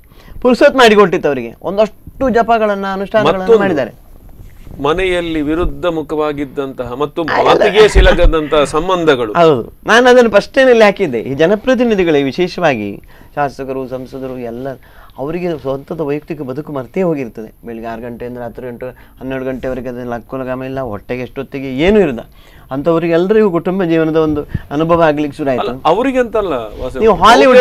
ಮನೆಯಲ್ಲಿ ಈಗ ಮಾಧ್ಯಮದವರಾಗಿರ್ಬೋದು ಯಾರಾಗಿರ್ಬೋದು ನಾವು ಮನೆಗೆ ಹೋಗುದೋ ಎಷ್ಟೋ ಹೊತ್ತಿಗೆ ನಾವು ಇರೋದೋ ಎಷ್ಟೋ ಹೊತ್ತಿಗೆ ಬಹುಶಃ ನಮ್ಮನ್ನು ನಮ್ಮ ಮನೆಯವರೇ ನಮ್ಮನ್ನು ನೋಡ್ಲಿಕ್ಕೆ ಅಪರೂಪ ಅಂತ ಅಂದ್ರೆ ಯಾವಾಗ ಕೇಳಿದ ಅದೇ ಮಾತು ಹೇಳಿದ್ರು ಪುರುಸೋತಿಲ್ಲ ಅಂತ. ಯಾವಾಗ ಕೇಳಿದ್ರು ಪುರುಸೋತಿಲ್ಲ ಅವನೆಲ್ಲಿದ್ದಾನೆ ಅವನೇ ಪುರುಸೋತಿಲ್ಲ ಬಿಸಿ ಕುಟುಂಬ ವರ್ಗದವರಿಗೆ ಹೇಗಿತ್ತು ಸರ್ ಈಗ ಮಾಧ್ಯಮದವರಿಗೆ ಸಂಕಟಗಳು ಬಂದಾಗ ಅದು ಯಾವ ರೀತಿ ನಿವಾರಣೆ ಮಾಡೋದಕ್ಕೆ ಪ್ರಯತ್ನಗಳಾಯ್ತು ಸರ್ ಖಂಡಿತ ಈಗ ಕೆಲವರಿಗೆ ನಮ್ಮ ಕುಟುಂಬದವರೊಂದಿಗೆ ಸಹಕ ಇದು ಸಮಯ ಕಳಲಿಕ್ಕೆ ಸಮಯ ಇಲ್ಲ ಅನ್ನುವಂಥ ಪರಿಸ್ಥಿತಿ ಇತ್ತು. ನಮಗೆ ಡೆಡ್ ಲೈನ್ ಒಟ್ಟಿಗೆ ನಾವು ಹೋರಾಟ ಮಾಡುವಂಥದ್ದು. ಈಗ ಮುಖ್ಯವಾಗಿ ನಾವು ಮುದ್ರಣ ಮಾಧ್ಯಮಗಳಿಗೆ ತಗೊಂಡು ಹೋದರೆ ಪುಟಗಳ ಸಂಖ್ಯೆ ಕಡಿಮೆ ಆಯಿತು. ಹಾಗಾಗಿ ನಾವು ಕಳಿಸುವಂಥ ಸುದ್ದಿ ಲಾಕ್ಡೌನ್ ಅಥವಾ ಬಸ್ಸುಗಳ ಸರಿಯಾದ ವ್ಯವಸ್ಥೆ ಇಲ್ಲ. ಈ ಬೇರೆ ಬೇರೆ ಕಾರಣಗಳಿಂದಾಗಿ ಪುಟಗಳ ಸಂಖ್ಯೆ ಕಡಿಮೆ ಆಗ್ತಿದ್ದಾಗ ನಮ್ಮ ವರ್ಕ್ ಸಂಖ್ಯೆ ಕೂಡ ಕಡಿಮೆ ಕಡಿಮೆ ಆಗಿದೆ. ಅದು ನಾನು ಈಗಾಗಲೇ ಹೇಳಿದೆ ಎಷ್ಟೋ ಪತ್ರಕರ್ತರನ್ನು ತೆಗೆಯುವಂಥ ಕೆಲಸ ಆಗಿದೆ ಅದು ಬಹಳ ಬೇಸರದಾಯಕ ಪತ್ರಿಕೋದ್ಯಮ ಪತ್ರಕರ್ತರಿಗೆ ಅಂತೇಳಿ. ಅದರ ಜೊತೆಗೆ ಪತ್ ಪುಟಗಳ ಸಂಖ್ಯೆ ಕಡಿಮೆ ಆದ ಹಾಗೆ ಪತ್ರಕರ್ತರ ವರ್ಕ್ ಲೋಡ್ ಕೂಡ ಸ್ವಲ್ಪ ಕಡಿಮೆ ಆಯಿತು. ಕಡಿಮೆ ಆಯ್ತು. ಹಾಗಾಗಿ ಅವರು ತಮ್ಮ ವೈಯಕ್ತಿಕ ಜೀವನಗಳಿಗೆ ಬದುಕಿಗೆ ಒಂದು ಸ್ವಲ್ಪ ಲಕ್ಷ್ಯ ಕೊಡುವ ಹಾಗೆ ಅದೊಂದು ಪೂರಕ ಆಯಿತು. ಲಕ್ಷ ಕೊಡುವ ಹಾಗೈತಿ ಇನ್ನೊಂದು ಕೆಲವರು ಬೇರೆ ಉದ್ಯೋಗವನ್ನು ಅಂದರೆ ತನ್ನ ವೃತ್ತಿಯ ಜೊತೆಗೆ ಇನ್ನೊಂದು ಸಹವೃತ್ತಿಯನ್ನು ಮಾಡ್ಲಿಕ್ಕೆ ಅದರ ಬಗ್ಗೆ ಚಿಂತನೆ ಮಾಡ್ಲಿಕ್ಕೆ. ಮುಖ್ಯವಾಗಿ ಕೃಷಿ ಈ ಬಗ್ಗೆ ನನಗೆ ಅನಿಸ್ತದೆ ಕೈತೋಟಗಳಾಗ್ಲಿ ಟ್ಯಾರಿಸಿ ಟ್ಯಾರಿಸ್ ಕೃಷಿ ಆಗಲಿ ಭೂಮಿ ಕೃಷಿ. ಅದರಲ್ಲಿ. ಈಗ ಹತ್ತು ಎಕರೆ ನಮ್ಮ ಅದು ದೊಡ್ಡ ಕ್ರಾಂತಿ ಆಯ್ತು. ನೀವು ಪರ್ಯಾಯ ಉದ್ಯೋಗ ಒಂದು ಕೃಷಿ ಅನ್ನುವಂತ ಒಂದು ಮಟ್ಟಕ್ಕೆ ಬ- ಬಂತು ಅದು ನೆಲದಲ್ಲಿ ನಿಲ್ಲದಿದ್ರೆ ಮಣ್ಣಿನೊಂದಿಗೆ ನಿಲ್ಲದಿದ್ರೆ ನಾವು ಮಣ್ಣಾಗಿ ಹೋಗ್ತೇವೆ ಅಂತ. ಇವತ್ತು ಮಣ್ಣಿನೊಂದಿಗೆ ಬದುಕುವ ಬದು- ಇದು ಕಲೆ ಬಂತು. ನಮ್ಮ ಊರಿನಲ್ಲಿ ಹಳಿಲ್ ಬೀಳ್ತಾ ಇತ್ತು ನಾವು ಯುವಕ ಮಂಡಲದವರೆಲ್ಲ ಹಳಿ ಬೀಳ್ದ ಕೃಷಿಯನ್ನು ಮಾಡ್ತಾ ಇತ್ತು. ಈ ಸಲ ಎಲ್ಲರೂ ಸ್ವಂತದವರು ಮಾಡಿದ್ದಾರೆ. ಶೇಕಡ ತೊಂಬತ್ತೆಂಟು ತೊಂಬತ್ತೊಂಬತ್ತರಷ್ಟು ಗದ್ದೆಗಳು ಇವತ್ತು ಇಪ್ಪತ್ತು ಇಪ್ಪತ್ತೈದು ವರ್ಷದಿಂದ ಹಡಿಲು ಬಿದ್ದಂಥ ಗದ್ದೆಗಳಿಗೆ ಇವತ್ತು ನಾವು ಮಾಡಿದ್ದಾರೆ ಊಟ ಮಾಡುವ ಅನ್ನಕ್ಕೆ ಮೂಲ ಇದೇ ಜಾಗ ಅಂತ ತೋರಿಸಿ ಗೊತ್ತಾಯ್ತು. ಇಲ್ಲಿ ಇರುದು. ನೀವು ಹತ್ತು ಹನ್ನೆರಡು ಕಂಪ್ಯೂಟರ್ ಬದುಕು ಕೊಡ್ತಾ ಇಲ್ಲ ಮತ್ತೊಂದಿಲ್ಲ. ರೈತನ ಅನ್ನ ಇಲ್ಲದಿದ್ರೆ ನಿಮ್ಮ ಬದುಕಲೇ ಇಲ್ಲಿ. ಆಕಾಶ ಮಾರ್ಗದಲ್ಲಿ ಹೋಗಿ ರೈಲ್ವೆಯಲ್ಲಿ ಹೋಗಿ ಬಸ್ಸಲ್ಲಿ ಹೋಗಿ ಬೈಕಲ್ಲಿ ಹೋಗಿ ಕಾರಲ್ಲಿ ಹೋಗಿ. ಅನ್ನದ ಮಹತ್ವ ಗೊತ್ತಿತ್ತು. ನೀರಿನ ಮಹತ್ವ ಗೊತ್ತಾಯ್ತು. ಇವತ್ತು ಎಲ್ಲ ಗಂಗಾದಿ ನದಿಗಳೆಲ್ಲ ಶುದ್ಧವಾಗಿ ಪರಿಶುದ್ಧವಾಗಿದೆ. ಪರಿಸರ ಸ್ವಚ್ಛ ಪರಿಸರ ಸ್ವಚ್ಛ ಆಯ್ತು ಗಾಳಿ ಸ್ವಚ್ಛ ಆಯ್ತು. ಅದೇ ಪಂಜಾಬ್ ಪಂಜಾಬ್ನಲ್ಲಿ ಹೇಳ್ತಾರೆ ಇನ್ನೂರ ಅರವತ್ತು ಕಿಲೋಮೀಟರ್ ದೂರದ ಹಿಮಾಲಯ ಅತ್ಯಂತ ಸ್ಪಷ್ಟವಾಗಿ ಕಾಣ್ತಾ ಇದೆ ಗೋಚರ ಆಗ್ತಾ ಇದೆ ಅರವತ್ತೆಂಟು ವರ್ಷಗಳ ಬಳಿಕ ಅಂತ. ಬೆಂಗಳೂರಿನಂತಹ ಮೆಟ್ರೋಪಾಲಿಟನ್ ಸಿಟಿಗಳು ವಾಯುಮಾಲಿನ್ಯದಿಂದ ತತ್ತರಿಸಿ ಹೋಗಿತ್ತು. ಬಟ್ರೆ ಅಂತೂ ಖಂಡಿತವಾಗಿ ಒಂದು ಮಾತಂತೂ ಸತ್ಯ. ನಮ್ಮ ಕಾಣ ಕಣ್ಣಿಗೆ ಕಾಣದ ಒಂದು ದೊಡ್ಡ ಶಕ್ತಿ ಅದು ಅಣುರೂಪದಲ್ಲೂ ಬರಬಹುದು ನಾವು ಊಹಿಸದ ರೂಪದಲ್ಲೂ ಇರಬಹುದು. ಆದರೆ ಮಾನವನ ಭಾವಾತಿರೇಕಗಳು ಅತಿಯಾದಾಗ ಮತ್ತು ಆತ ನಡೆಯಬೇಕಾದಂಥ ಸನ್ಮಾರ್ಗಗಳನ್ನು ಬಿಟ್ಟು ಇನ್ಯಾವುದೋ ಅನರ್ಥ ಮಾರ್ಗಕ್ಕೆ ಹಿಡಿತಾನೆ ಅಂತ ಅಂದಾಗ ಯಾವುದೋ ಒಂದು ಶಕ್ತಿ ಖಂಡಿತವಾಗಿಯೂ ನಿಯಂತ್ರಣ ಮಾಡ್ತದೆ ಅನ್ನೋದು ಇವತ್ತಿನ ನಮ್ಮ ಅತಿಥಿಗಳ ವಾದ. ಜೊತೆಗೇನೆ ಇವತ್ತೊಂದು ಅತ್ಯದ್ಭುತವಾದಂತಹ ಒಂದು ಕಾರ್ಯಕ್ರಮ, ಇವತ್ತಿನ ಒಂದು ರಿಯಲ್ ಹೀರೋಸ್ ಆಫ್ ಲಾಕ್ಡೌನ್ನಲ್ಲಿ ನಾವು ನಿಜವಾಗ್ಲೂ ಒಂದಷ್ಟು ಈ ಮಾಮೂಲಾಗಿರುವಂಥ ವಿಚಾರಗಳನ್ನು ಬಿಟ್ಟು, ಅಂದರೆ ರಿಯಲ್ ಈ ಲಾಕ್ಡೌನ್ ನಮಗೆ ಏನನ್ನ ಕೊಟ್ಟಿತ್ತು, ಅದಕ್ಕೆ ಸಾಧ್ಯತೆಗಳೇನು, ಜೊತೆಗೆ ನಾವು ಏನನ್ನ ಕಲ್ತುಕೊಳ್ಳಿಕ್ಕೆ ಸಾಧ್ಯ ಆಯಿತು ಅನ್ನುವಂತಹ ಒಂದಷ್ಟು ವಿಚಾರಗಳನ್ನು ಇವತ್ತಿನ ನಮ್ಮ ಮುಖ್ಯ ಅತಿಥಿಗಳಾಗಿರುವಂತಹ ವಾಸು ಭಟ್ ಪೆರಂಪಳ್ಳಿ ಮತ್ತು ಕಿರಣ್ ಮಂಜನ್ ಬೈಲ್ ಅವರು ನೀಡಿದ್ದಾರೆ. ಅವರು ಈ ಕಾರ್ಯಕ್ರಮಕ್ಕೆ ಆಗಮಿಸಿದ್ದಕ್ಕಾಗಿ ವಿಶೇಷ ಅಭಿನಂದನೆಗಳು ಸಲ್ಲಿಸ್ತಾ, ಈ ಒಂದು ರಿಯಲ್ ಹೀರೋಸ್ ಆಫ್ ಲಾಕ್ಡೌನ್ ಈ ನೇರ ಪ್ರಸಾರ ಕಾರ್ಯಕ್ರಮವನ್ನು ಮುಕ್ತಾಯಗೊಳಿಸ್ತಿದ್ದೀವಿ. ಮತ್ತೊಂದಷ್ಟು ಹೊಸ ವಿಚಾರಗಳೊಂದಿಗೆ ಮುಂದಿನ ದಿನಗಳಲ್ಲಿ ಬರ್ತಾ ಅಲ್ಲಿವರೆಗೂ ನೋಡ್ತಾ ಇರಿ, ಸ್ಪಂದನ.